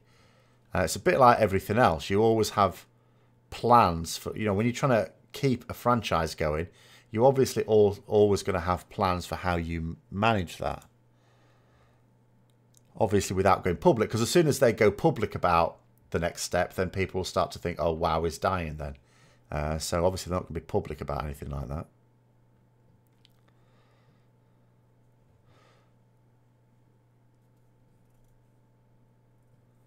Uh, the Warcraft lore is in such a mess at this point. Well, yes, it is. Um, I suppose it's what comes of having a free hand to do whatever you like with it. And when you get new sets of story writers coming and going, uh, there's no hand on the tiller, basically. They just do what they want. So, and I suppose the other thing is, like, they keep talking about the fact that they have, they work out these story arcs like years ahead of time. So, like, they know the storyline not just for the next expansion, but the expansion after it, and potentially the expansion after that. You know, they work it all out like that. So, but the problem is that by the time, you know, the expansion after comes along, the people who wrote that story arc may have moved on, and there might be new people who are having to fill in the gaps of it and, you know, try and make it work. So, yeah, you can end up with a right old mess.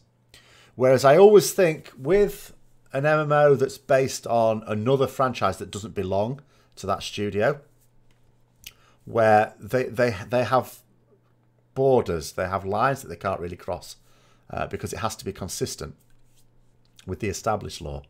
So they tend to be a bit more careful, I think.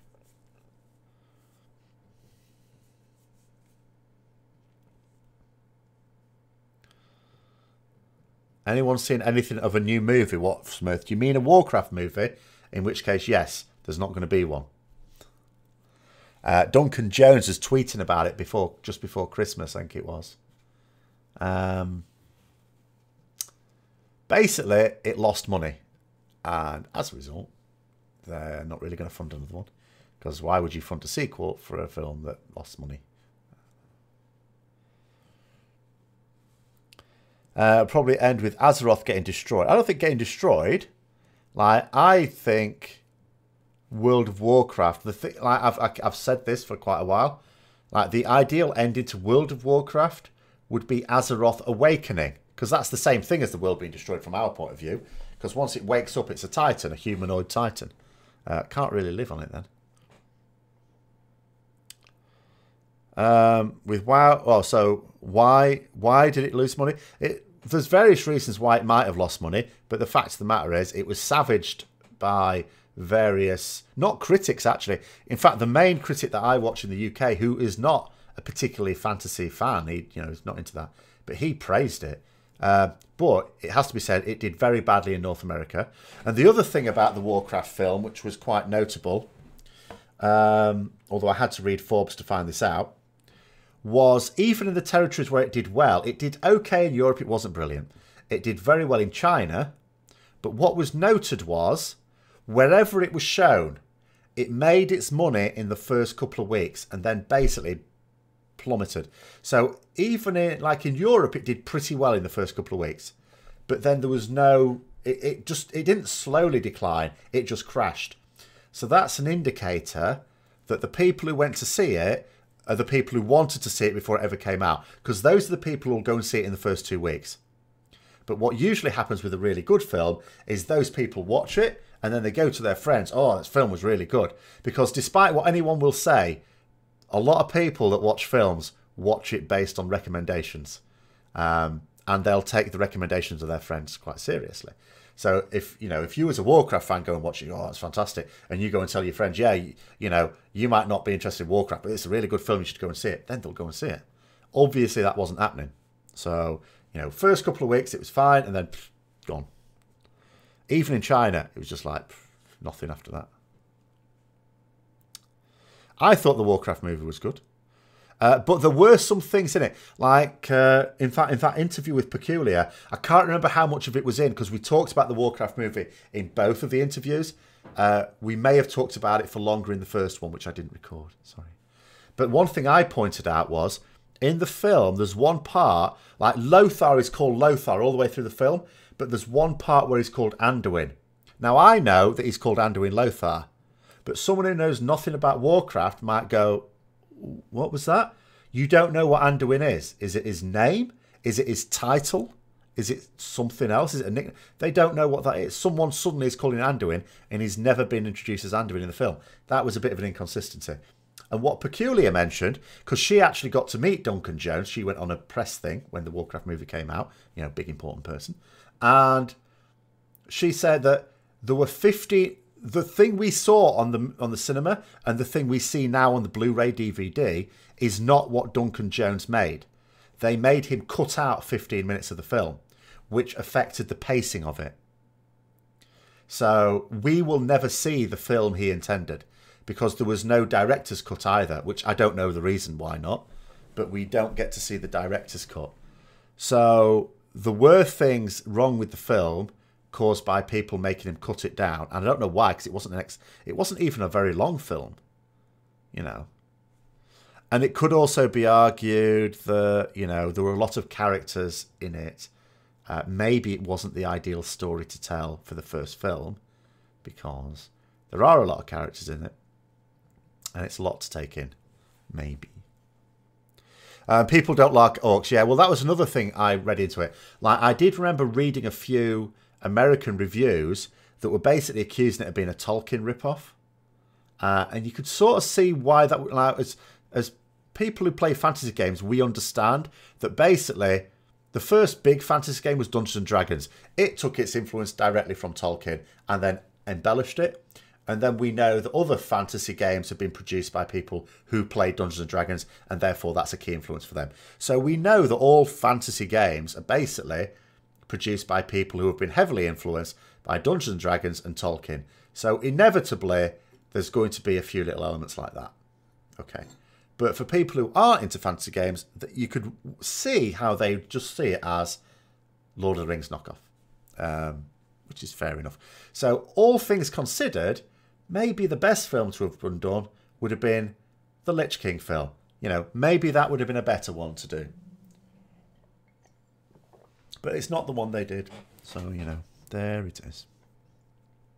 Or maybe, um, you know, the War of the Ancients, perhaps. Although that would have been very, very CGI heavy. So maybe not. But maybe the Lich King story. Uh, didn't oh, so let's read some comments. Sorry, didn't feel like Warcraft in your opinion. Also, the choice of cast wasn't exactly visionary. I don't know. I thought the cast was okay. Uh, obviously, in that you're going to get some people who did a better job of acting than others, and all the characters had limited screen time. But I think they did. I think it was decent, um, and I think it did feel like Warcraft. I thought it was. I thought it was decent, but that's my opinion, obviously. Ulduar Time Walking releases. Yes. So, yeah, the Wrath Time Walking is now coming. So that means we may... I don't know whether... I'm, I'm only going to do it if the guild wants to do it. Ulduar Time Walking. Um, but, yes, might be doing Ulduar Time Walking.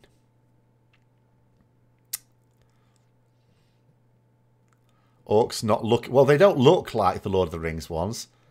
But they are orcs. And it has to be said, orcs are a Tolkien invention.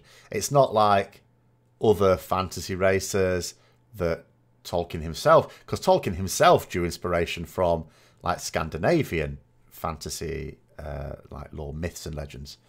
But um, orcs were basically his device; they were his creation. So inevitably, someone is going to, you know, look at fantasy and think, well, that's just basically copied off Tolkien stuff, you know, and well, I mean, we can know that the reason for that is when when Warcraft 1 came out, it needed something for people to get a handle on. They're bringing out this game. They're a small studio at the time. And they bring out a game, Warcraft Orcs versus Humans. Uh, it's not even just called Warcraft. It's Warcraft Orcs versus Humans. To get so that people understand what they're getting. You know, they're deliberately trading on the fact that this is a familiar fantasy setting.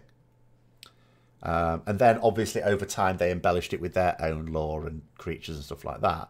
But the orcs, because it was there right from the start, to give it that initial boost in the market, uh, they're sort of stuck with. But you know, that's just unfortunately the way it is.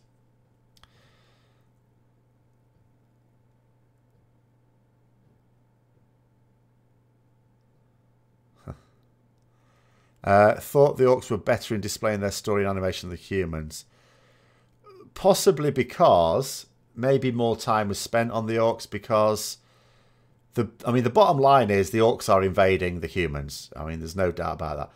Uh, so to try and avoid the orcs just being seen as straight up bad guys, you had to have obviously you had to have a bad guy orc. Well, that was Gul'dan. Um, but you also had to have good guy orcs in order to balance it. So that meant a fair amount of development with, as it turns out, Orgrim and Durotar. Durotan, sorry. Durotar's the place he was named after. Uh, no, the place that was named after him. Bloody orcs. Um, you're currently on Yogg-Saron this very moment. All right, with the uh, yeah, well, that's something they didn't do. I mean, that yeah, I was disappointed that certain bits of the storyline were changed. I can understand some of it, but I really wish they'd have pursued instead of Garona killing Llane because Llane wanted her to kill him they'd have done it as it was at the time with the Siege of Stormwind and her being effectively mind controlled by Gul'dan. Um, you know, that would have been better. But, you know, that's just that's just that. It felt like a ton of fan service by showing off big areas in Warcraft. Well, I mean, the Dalaran was the interesting thing because, of course, in the film, you could tell that it was linked to the. Uh, it was supposed to be linked to Warlords of but the film was delayed because, of course, Dalaran in the movie is flying, but Dalaran at that time was not. It was stuck in the ground where that crater currently is. Uh, it only flew during World of Warcraft time. They should make a second movie and make it based on when the Black Empire ruled Azeroth. and watch the Lovecraft rip-off comments unfold. Well, inevitably. Well, yeah. I mean, the thing is, there's nothing terribly original about Warcraft lore. Individual storylines may be original if they've been done by a good writer, usually write in a novel rather than in the game. But the overall things are not terribly original. You know, if you point to any sort of bit, you can always draw a parallel with something else that's come before it. I mean, even the end cinematic with Kil'jaeden and Velen Kil'jaeden's going, you know, I never believed we could defeat him. Maybe you'll prove me wrong. That's basically out of Lord of the Rings. That's that's Saruman. You know, Saruman didn't join Sauron just because he didn't think, you know, he because he wanted to. He did it because he wanted power and he didn't think Sauron could be defeated but he wasn't sure. You know, there was a potential turning point where he may have been on the side of Gandalf. Uh, and that's just straight out that. So they just ripped it straight out. Uh, isn't that what makes WoW the WoW we love? It takes bits and pieces from things that work, slap it together in a way that kind of makes sense and it's fine. Well, yes. Uh, it would still be better if they had original stories and stuck to them. What I don't like is when they keep changing things I particularly don't like it when they change something and then say they never changed it. That's just, that's naughty. If they're going to change something, they should just admit they've changed it. Um, but I wish they wouldn't change it at all in the first place.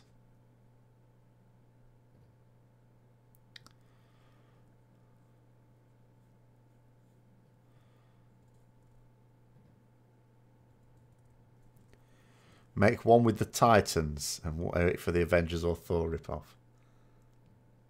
Hmm. Well, they're not going to make one at all anyway because it lost money. Um, so that's it. That's all there was to it. It needed to make about another. I can't remember how far short it was. It was about forty to fifty million dollars or something. It was short of breaking even. So mm, disappointing. Disappointing. If I could bring any fantasy figure into WoW, may not make sense, just choose. What, as a character or as a race, you mean?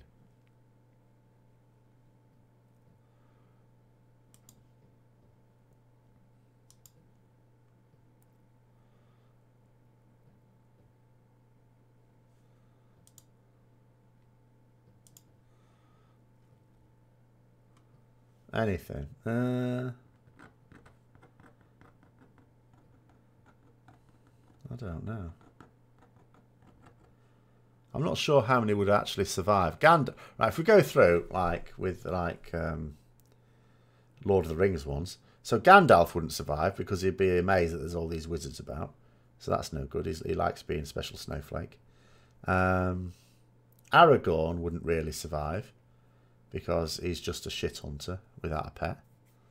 Fred Flintstone.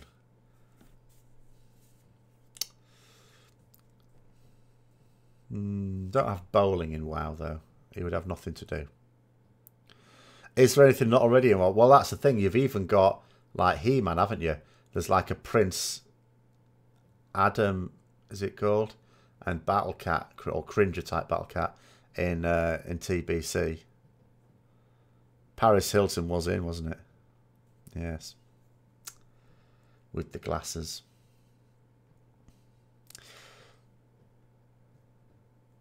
In fact, well, I mean, that's another thing. The people I noticed there was another thing on Reddit uh, about just suggesting because obviously each expansion they usually reference some members of the community in either an NPC is when you've really made it, but also an item. You know, like Skullflower had a legendary named after him. Uh, Perculia had a ring named after him stuff like that. But there's people obviously talking about the fact that Haven should get um, something. I would suggest an NPC. Uh, so people will be on the lookout to see if anything actually does pop up related to him.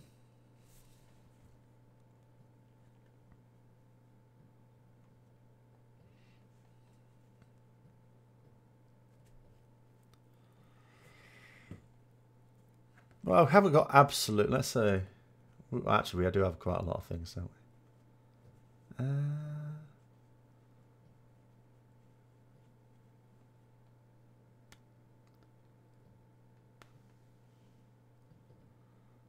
Uh, I'm trying to think now. What don't we have? I should get out of my Dungeons and Dragons monster book and see what we don't have. We probably have got most things. No, no, no, no. I'm not in favour of being violent towards political figures, even if they the the feeling is not mutual. Um.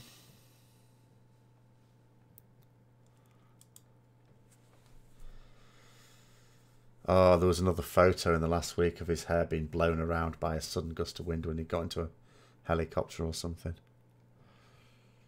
I don't know why I can't just like, you know, grow old with dignity. I mean, I'm losing my hair at some point. I need a haircut actually. It's, it's some you don't try and do the comb over. Comb over just looks bad. You know, it's worse than a wig. A comb over. It's like someone basically saying, "I'm going bald but I'm not having it. But I can't be asked to get a wig. So I'm just going to try and I'm just going to do this and I'm going to try and convince you that it's growing correctly when everyone knows it's not.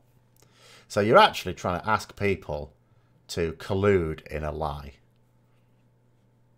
which is not very nice.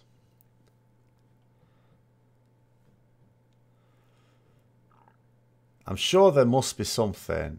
Oh, I'll tell you what we haven't had. No, I know something we haven't had in World of Warcraft, I think. We haven't had genies. Or Jinn, whatever you want to call them.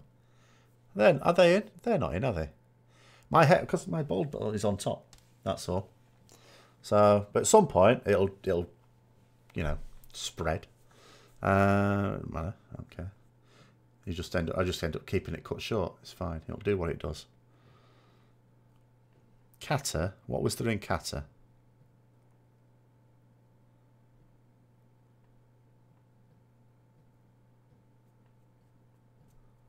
I don't remember a genie.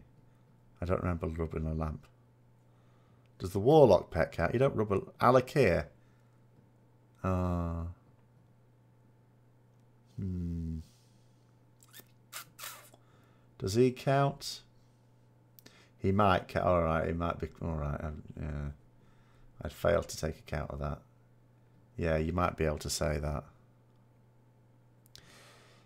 All right. Well, in that case, I can't think of anything that hasn't been. I had forgotten about that. I didn't play much of Cataclysm, to be fair. So, yeah, okay. Maybe there hasn't been. Maybe they've done everything. That's pretty bad news. We've even had uh, dancing sunflowers, so yeah, we've basically had everything, haven't we?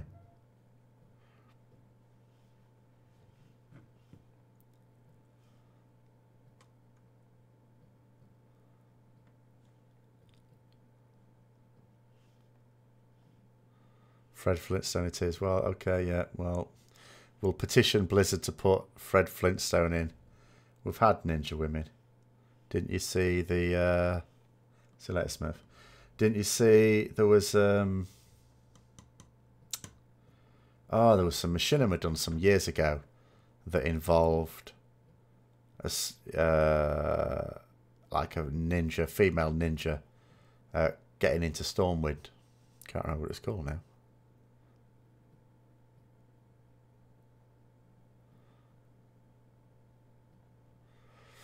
Well, I don't know how feasible it would be for them to, for example, make capes that didn't clip with weapons so much. That would be quite nice. I mean, there's sometimes with some weapons I don't wear capes at all, just because, you know. Although I'd quite like some options of capes that go with a hood. But you don't get that either. Sometimes you can get the hoods, and if you can find a cape that sort of matches it, you can sort of pretend, but it's a bit crap. Doesn't really work. And of course, it's not an option for a plate wearer. That's also something I don't really like with Transmog. The fact that I can't make my character look how I want. Because, oh no, you're only allowed to, you know, Like, occasionally there's the odd cosmetic piece of gear, like my captain's hat that I'm allowed to wear. That's one of the reasons for wearing that. Tier 19. Tier 19 what? I'd like a lot more transmog freedom. I, I don't understand these um, restrictions they put in place. Hang on a minute. Wouldn't it look cool riding around Dalla in his car? Whose car? What car? Oh, Fred Flintstone's car. No, because you've got to push it yourself. It's like a kiddie's car. Tier 19 has a hood. Not my tier 19, it doesn't.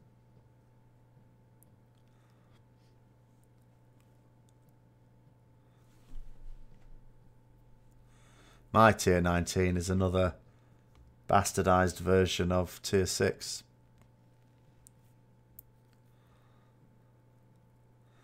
Medusa, you've got like Lady Vashj for that. If you're trying to think of things, fantasy tropes that have not been in World of Warcraft before.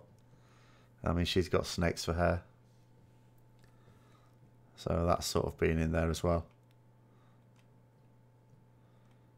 Actually, I tell you what, on the subject of uh, Greek Titans, though, you know, I don't have a Pegasus mount. That's something I'm missing.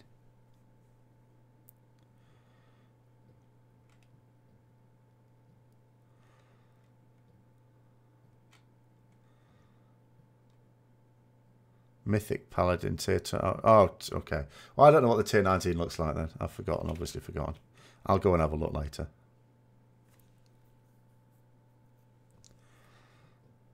What do you miss? We're discussing transmog, I think, at the moment. Could I count Tyrael's Charger? I desperately wanted to count Tyrael's Charger as one because it's the closest thing there is to a flying paladin mount, as in one that looks like it should fly. But unfortunately, those like Diablo angel wings are just too wispy and feeble. I want glorious, proper wings. Proper Pegasus wings. So no, I, I did use it for a little bit. I was desperate to make myself like it. but uh, So I have it, but I don't use it anymore because it's just not. It's feeble. All they had to do was give the class mount some wings. Yes, that's all they had to do. They should have made it white a white horsey with white, big white wings, and it would have been pretty good. I still don't like the barding on it. I think it's too clunky. But, you know, it, if it was a Pegasus mount, then that would I would use it. I would actually use it. Whereas at the moment, I'm using the Warframe because that is actually the best flying paladin mount there's in this game. And it's for anyone. Anyone can wear it. Even gnomes can use the Warframe. It's disgraceful. Absolutely disgraceful.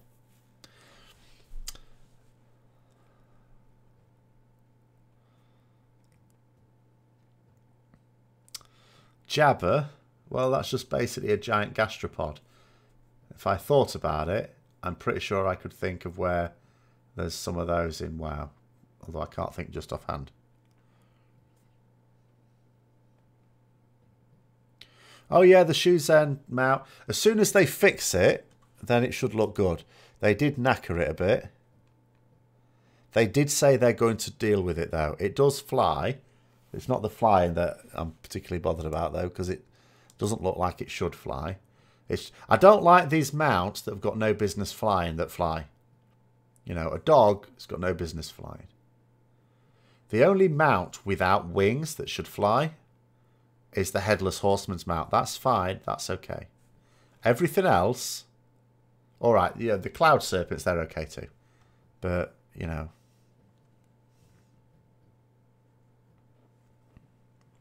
Do we have lightsabers? Yes, we do have lightsabers.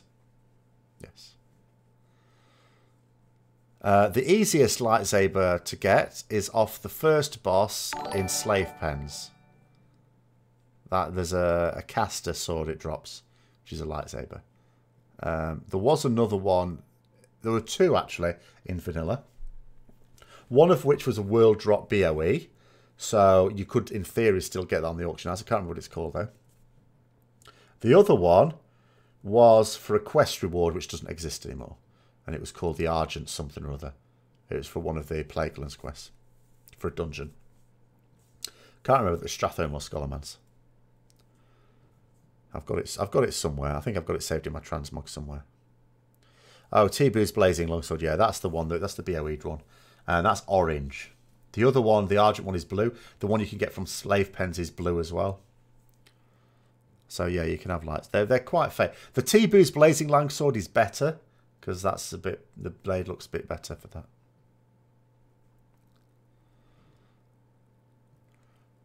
What I'm missing is a Death Star. Hmm. Yes, we have had spaceship shoots lasers though, haven't we?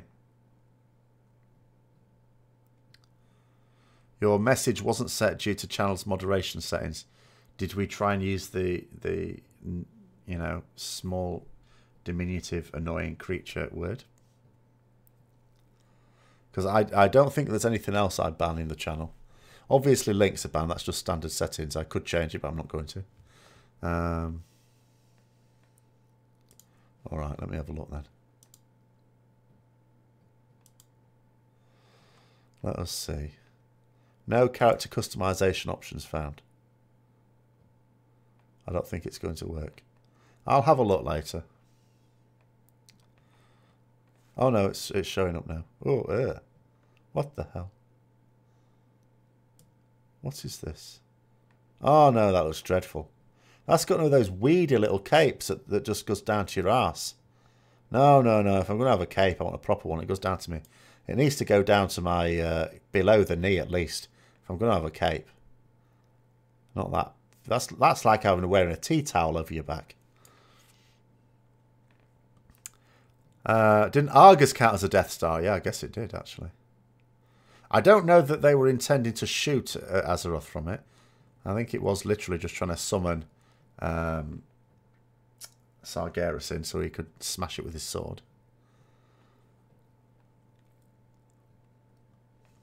There's a two-handed lightsaber from their starting quest, yes. People have told me about that before.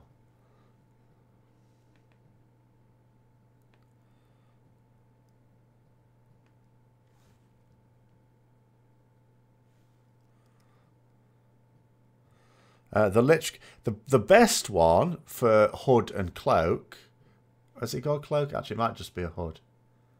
I think it's a cloak as well. Is the Anduin in disguise model? That was very good. Yeah, we should be able to get that.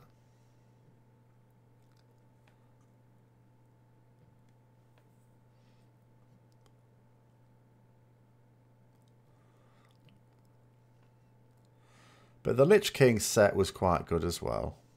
It was a bit tattered though, so not really suitable for a paladin, but you know, for some classes it'd be suitable. Well, Death Knights I suppose most suitable for.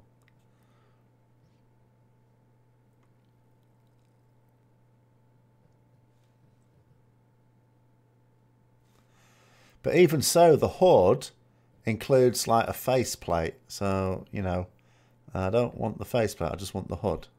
Now, you can get hoods. The hoods were quite popular in vanilla. And in theory, as I say, you could get a cloak that matches it and you could make yourself one, a pseudo version, but it wouldn't work for a paladin because it wouldn't be plate. That's the issue. I mean, the cloak would be fine, but the hood, I don't think you're going to find a plate hood. And this one, although it is a hood that's a plate, it includes the faceplate, which I don't want. You would like cloak transmogs that semi-cover the rest of your armor transmog options too. Ah, well, they'll never do that.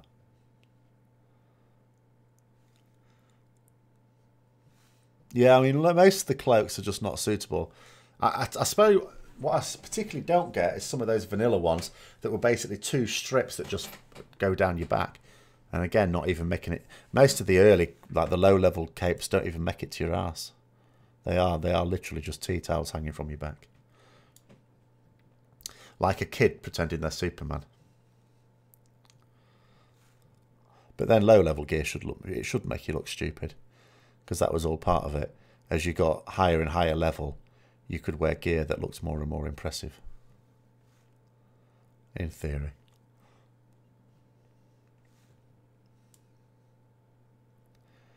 Whereas now I find myself just transmugging everything into stuff that I got in vanilla and TBC.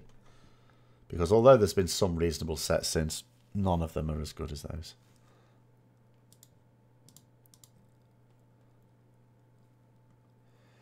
What the hell? MMO champion. Tweet. Battle for Azeroth appears to be retiring first aid, moving achievements to legacy and bandage crafting to tailoring. Bear in mind that's, you know, data mining sometimes sometimes things go a bit weird with data mining.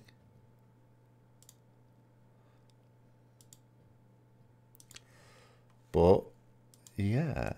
Well, that's what it's I mean, this is purely based on data mining, and it's based on the fact that achievements are being moved. But tailors get it. Tailors do get something What are you on about? They make and make bags. Um, they can also make flying carpets. No, I haven't used first aid. I haven't. I don't think I've even leveled my first aid up this expansion. I've done some leveling of it, but I haven't. I haven't leveled it to 800. Is what I mean. So yeah, the last time I used first aid, like properly used it, was probably TBC. I mean, I know I've still got in the video me using bandages on the Illidan fight. Because there were various parts of the fight where you had to just move out because you had to spread and I couldn't be in melee range of anything, so I just stood there like an idiot. So I used to bandage myself and then I used to bandage other people around me as well. Um, but that Well, they, uh, to be honest, excuse me, God Almighty, they might because, like you just said, and first aid is not really used. If it's not really used, and is there any point in it? We'll still have bandages. They'll come from tailoring. Presumably, it just means you don't need any skill to use them. Um, I don't think it means you need to be a tailor to use them and just to craft them. And other people could use them just like health pots if you want them.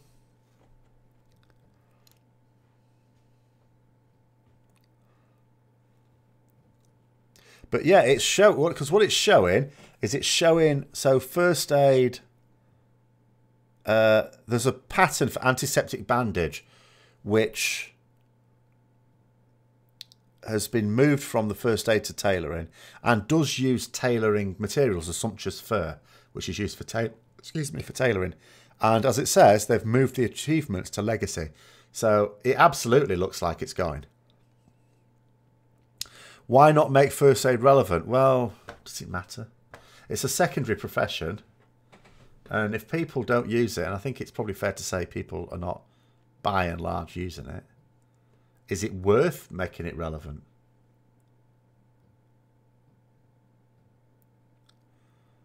You doubt the remove a profession. It's very believable. Um, you know, sometimes you do get people trying to, you know, join two things together based on data mined information and not always coming to the right conclusion. Uh, this one, it'll be very difficult. Okay, so let's let's reconcile these two things then. One, the bandage is a tailoring recipe now, and it uses tailoring materials. That's a fact. Tailors are going to be able to make bandages. That's what's come out of it. So that's a fact. Why would that be if there's going to be first aid still?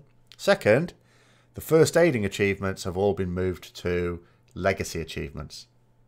Those two things do sort of suggest that this is not likely to be a, uh, a false conclusion.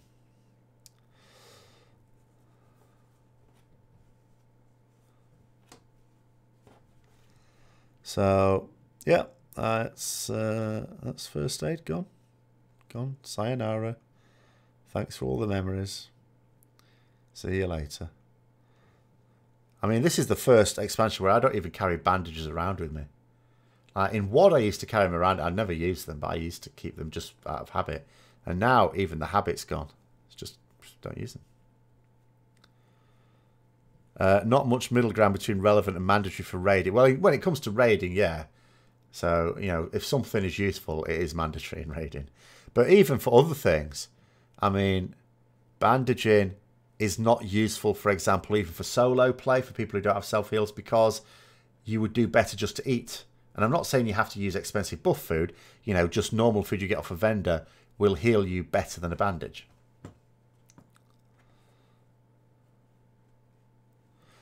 And of course, for that sort of thing, you don't need uh, any skill to do it. If they function with some sort of cleanse mechanic, you can see them being useful in arenas, I assume you mean. The They try and restrict, though. In arenas, they tend to ban quite a lot of profession stuff, though, don't they? Oh, the Bear Tartar. Yeah, the Bear Tartar I've used sometimes in, like, uh, Mythic Plus dungeons. If I think there's going to be, having to be some sprinting done between trash packs. What's my favourite allied race? Void Elf. By far the coolest. Oh, areas, not yo. You did actually mean areas. Sorry, I thought you'd mistyped it. Uh, I don't know. I, I, don't. I think you know. I think it's easily. I think you can easily do without it. Like cooking's relevant, fishing's relevant. Uh, first aid, mm, not really. Not really. I suppose that means there's going to be a dark, um, Darkmoon Faire NPC who's suddenly going to be out of work, though. You know, because we're not going to need the first aid guy anymore.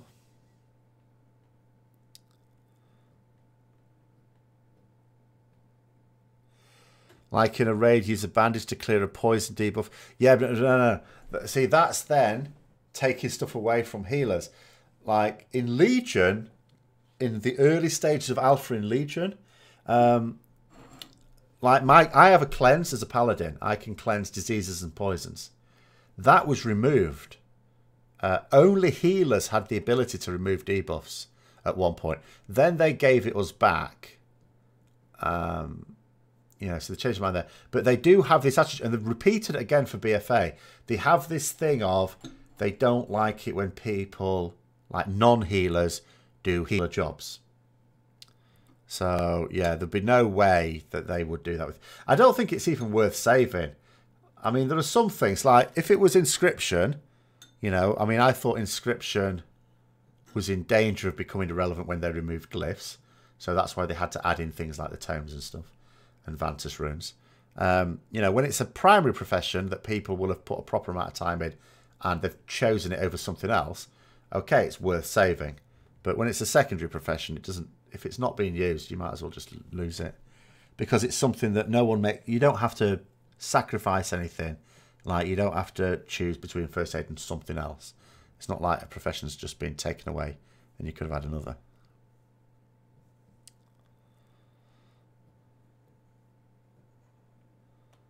Uh, the first aid guy does JC too. Oh, does it same one? Okay. Well, all right. He can keep half his job. He goes down to half salary. His salary is now pro rata 0.5. Engineering doesn't make any money auction house wise. No, I can imagine not. But it is useful. Engineering is useful because you can pop Jeeves in a mailbox. And a Blingtron 6000. But never a Blingtron 5000. Don't need any more of them.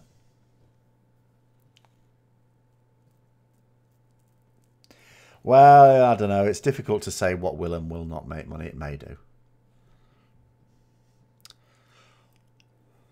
You drop the tailoring because you've got. I haven't actually leveled up a tailor. I have to say, I've got tailors at level 110 who were tailors in the previous one, so but I haven't actually done the tailoring quest myself. I have to admit, because yeah, I've got burnt out by doing all these profession quests that I can't be asked with. I have to admit. So I don't technically have a tailor for Legion. I should at least get it on one. I mean, I've got a tailor on like multiple characters, but what I mean is I should actually level up the tailoring on at least one. If, well, I think as an altoholic, you probably hate them more like I do because you've got to do it on more of them. You're hoping more professions see use in the raiding scene. They tried that before. It wasn't very successful. Um, I, okay, they could try and maybe do it in a different way, but they have tried it before, and it was a disaster. Because people were choosing professions based on what gave them the best bonus in raids, as opposed to the one that they wanted to do.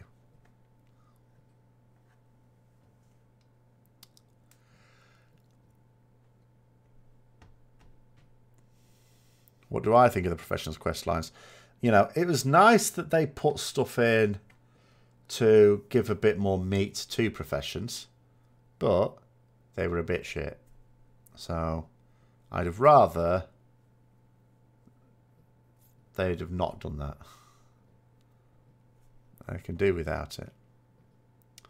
I know that we're trying to do, and I don't want to knock them for what they were trying to do, but it just it wasn't interesting at all to me.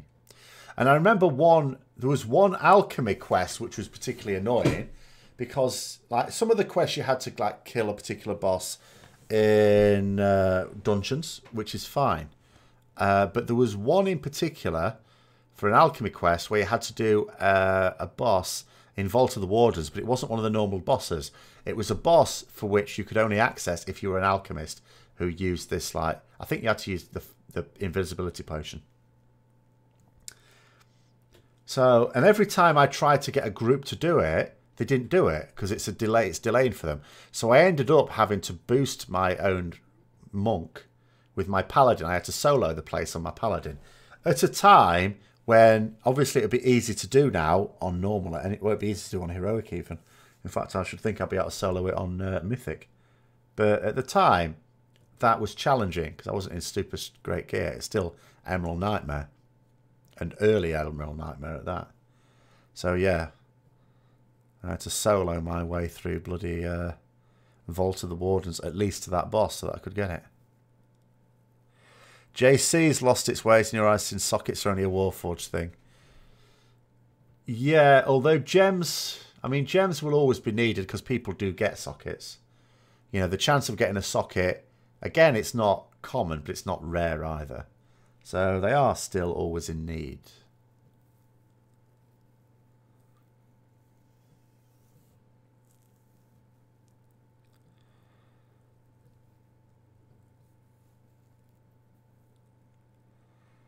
Uh, the BFA hype's quite low.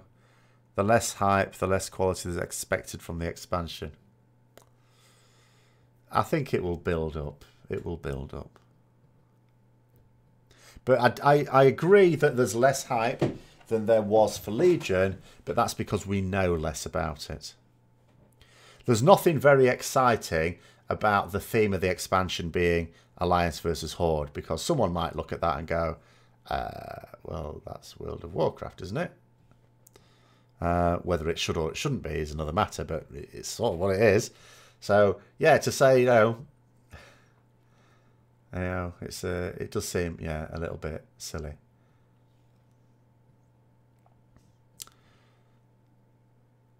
Uh, you recently soloed the alchemy on your demon hunter. You have to clear the whole place. Yes, you do. That's the thing.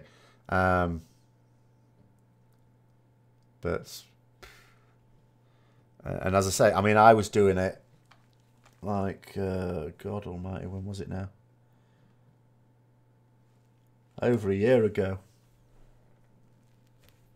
Can height be objectively measured? No, not really. No, um, unless there's some cunning way that some sociologist has come up with. You just want a consumable lock closet from one of the professions, either engineer or maybe inscription or something. What the hell? A consumable lock closet. What's that?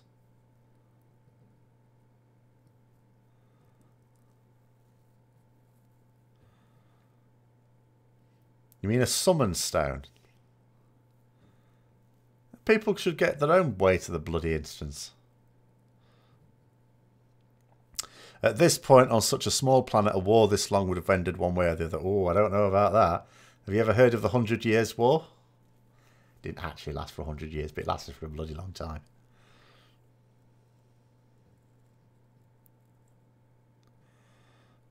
Uh, consumable summon stone. Yeah, I mean, you can't take more stuff off warlocks. To be fair, and if you gave like another version of it, that's that's effectively like nicking another use for warlock. Poor old warlocks. There's a new item for engineers that battle reses people. Yeah, it's called the uh, damn it, I forgot what it's called. Uh, the failure detection pylon, isn't it? Yeah, we sometimes use those as wipe recovery. I mean, it wouldn't be needed if when a wipe's called, we still had a combat res available and then someone could just randomly combat res a load of people. Um, but usually when a wipe's called, it's because we've got no more battle reses. So yeah, the failure detection pylon works then. Uh, you're just surprised 12 years and these pirates and sea explorers still haven't told us what's on the other side of Azeroth. Because there's nothing. There's nothing there. It's just sea. Um, oh, thank you, Kage. See you later. Have a good day. Well, we'll be nearly finishing up now anyway, because you know, we've gone over time again. Um, oh, a new item actually battle res is like a combat res. Oh, I see. Oh, for Battle for Azeroth, you mean? Ah, well, do you know what? That, that reminds me, that brings me back.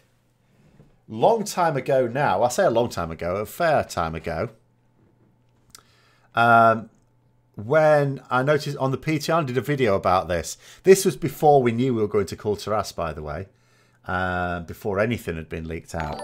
And, uh, you know, and there's a pattern you can get in Legion Blacksmith that appeared in patch something, I can't remember, 7.2.5 or something for an anchor. So this thing, basically, use this thing and it sends you, it shoots you down to the bottom of whatever bit of water you're in.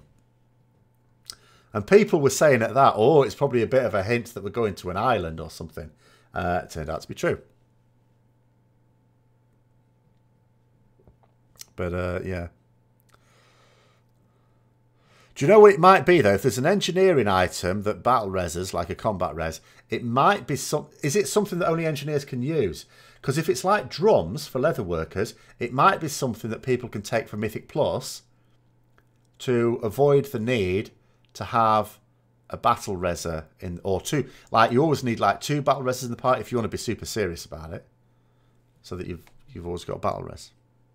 Because you can't just take one. Because if you take one, they might be the one who dies. That's no good. Remember, you had to buy a bunch of those pylons for your guild bank because you failed some tanking mechanics. Ooh.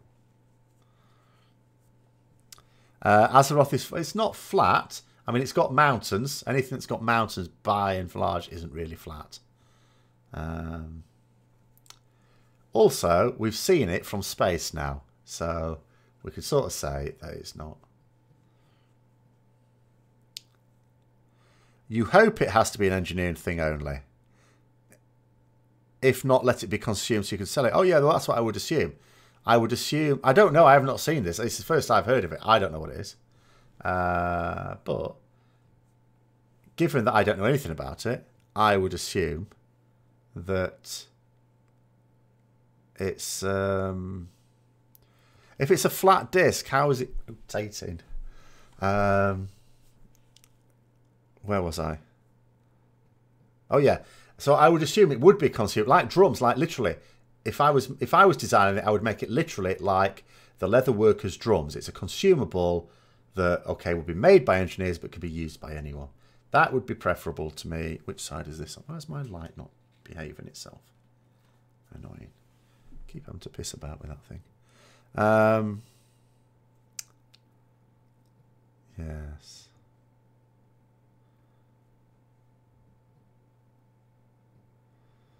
Oh, very good. I'm joining. I heard we had members all around Azeroth. Yes, excellent.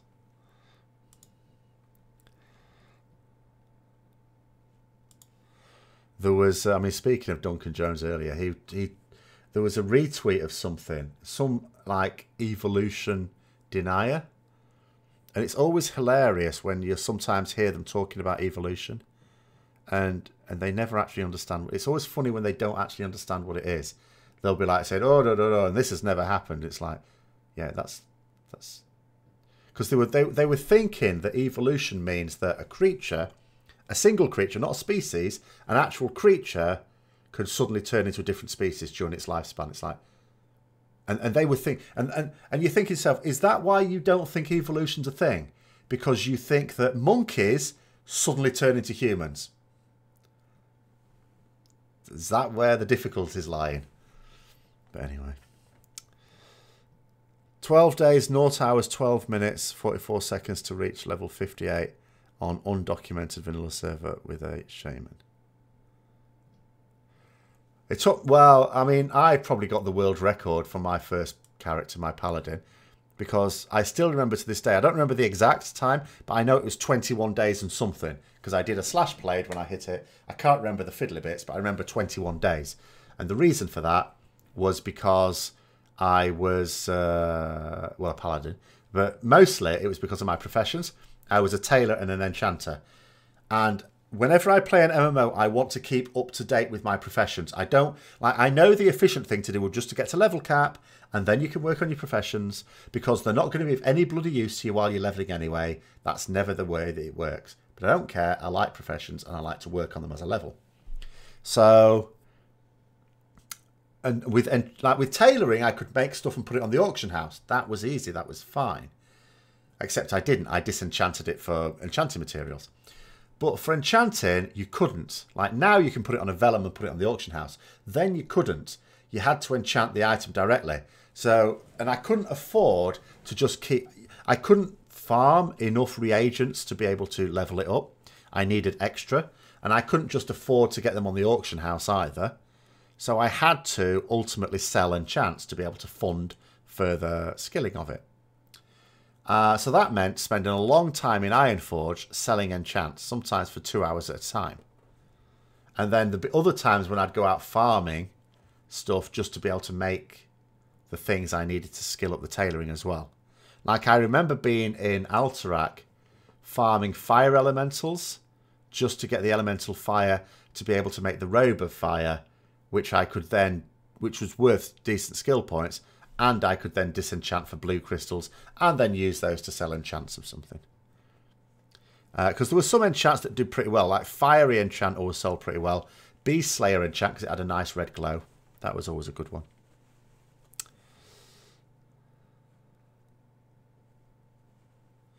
Uh, you were never in a rush to level in vanilla. Well, no, I wasn't.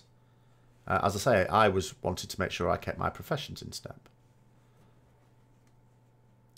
Um, so, yeah, it took me over 21 game days, which represented a period. Actually, can I?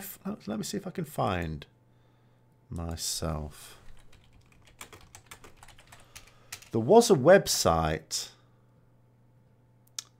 Can I remember the bloody name of it? Uh, there was a website where you could it kept a track on like it was a census thing. I can't remember what it was called. It would track at where you were. And it was working years later as well. But I can't remember what it was called, so I'll never find it now, will I? But um uh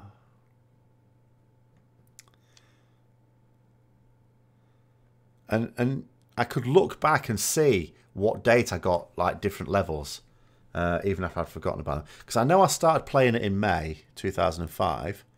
I can't remember when I hit 60.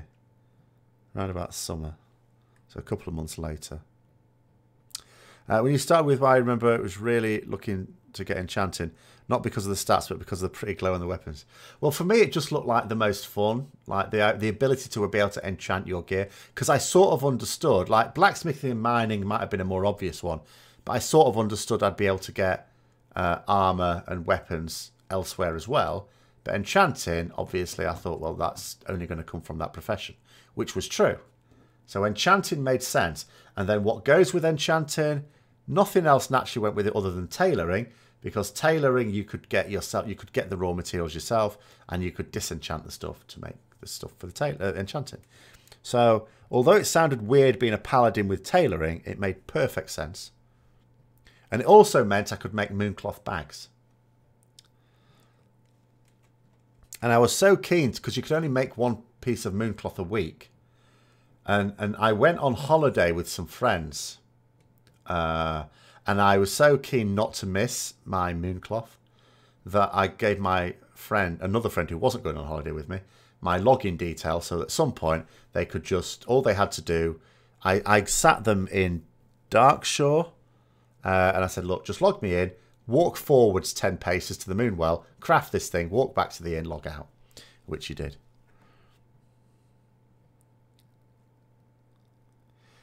Hang on a minute, what's this? Up until you were educated, you used kick in your rotation. Ooh. Okay. Well, I suppose if you don't read these things too carefully. I mean, I, I, I had my own embarrassing moments anyway in, in terms of not realising how things worked. I mean, I remember a player using a pickpocket emote on me and thinking he'd actually nicked some money off me. You know, I could probably do a top five of the stupidest things, the most ignorant things I did at the time. Um, I want as Joel Nerup, as that was the first realm I was ever on. No, but I can't remember. I'm looking at Guild Docs at the moment, but I don't think that's it. I, have I've completely, you know, I don't know what it is. It's a bloody shame though. I can't remember the name of this site.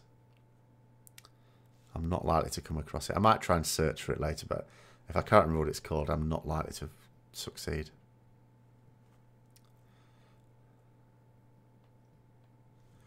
Yeah, well, I didn't have that excuse of only being 14 at the time. I was, uh, you know, uh, 20, either 28 or 29. I suppose 29.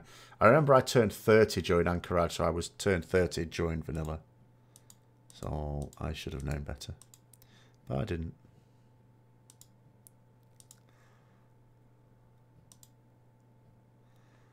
Hmm. But anyway, uh, I think we have gone on for long enough there. I'm going to call it there. Uh, thanks for coming on, everyone. I'll be back on streaming again tomorrow and stuff like that. I am going to do a couple of late streams this week as well uh, but not today. Maybe tomorrow and Thursday after the raids, as well as a Friday one. Uh, as I'm on holiday, I don't have to sort of get to bed by midnight. Uh, so I might do some leveling on my North American ones as well there. Uh, but uh, thanks for coming on then. And until next time, I'll see you later. Bye bye.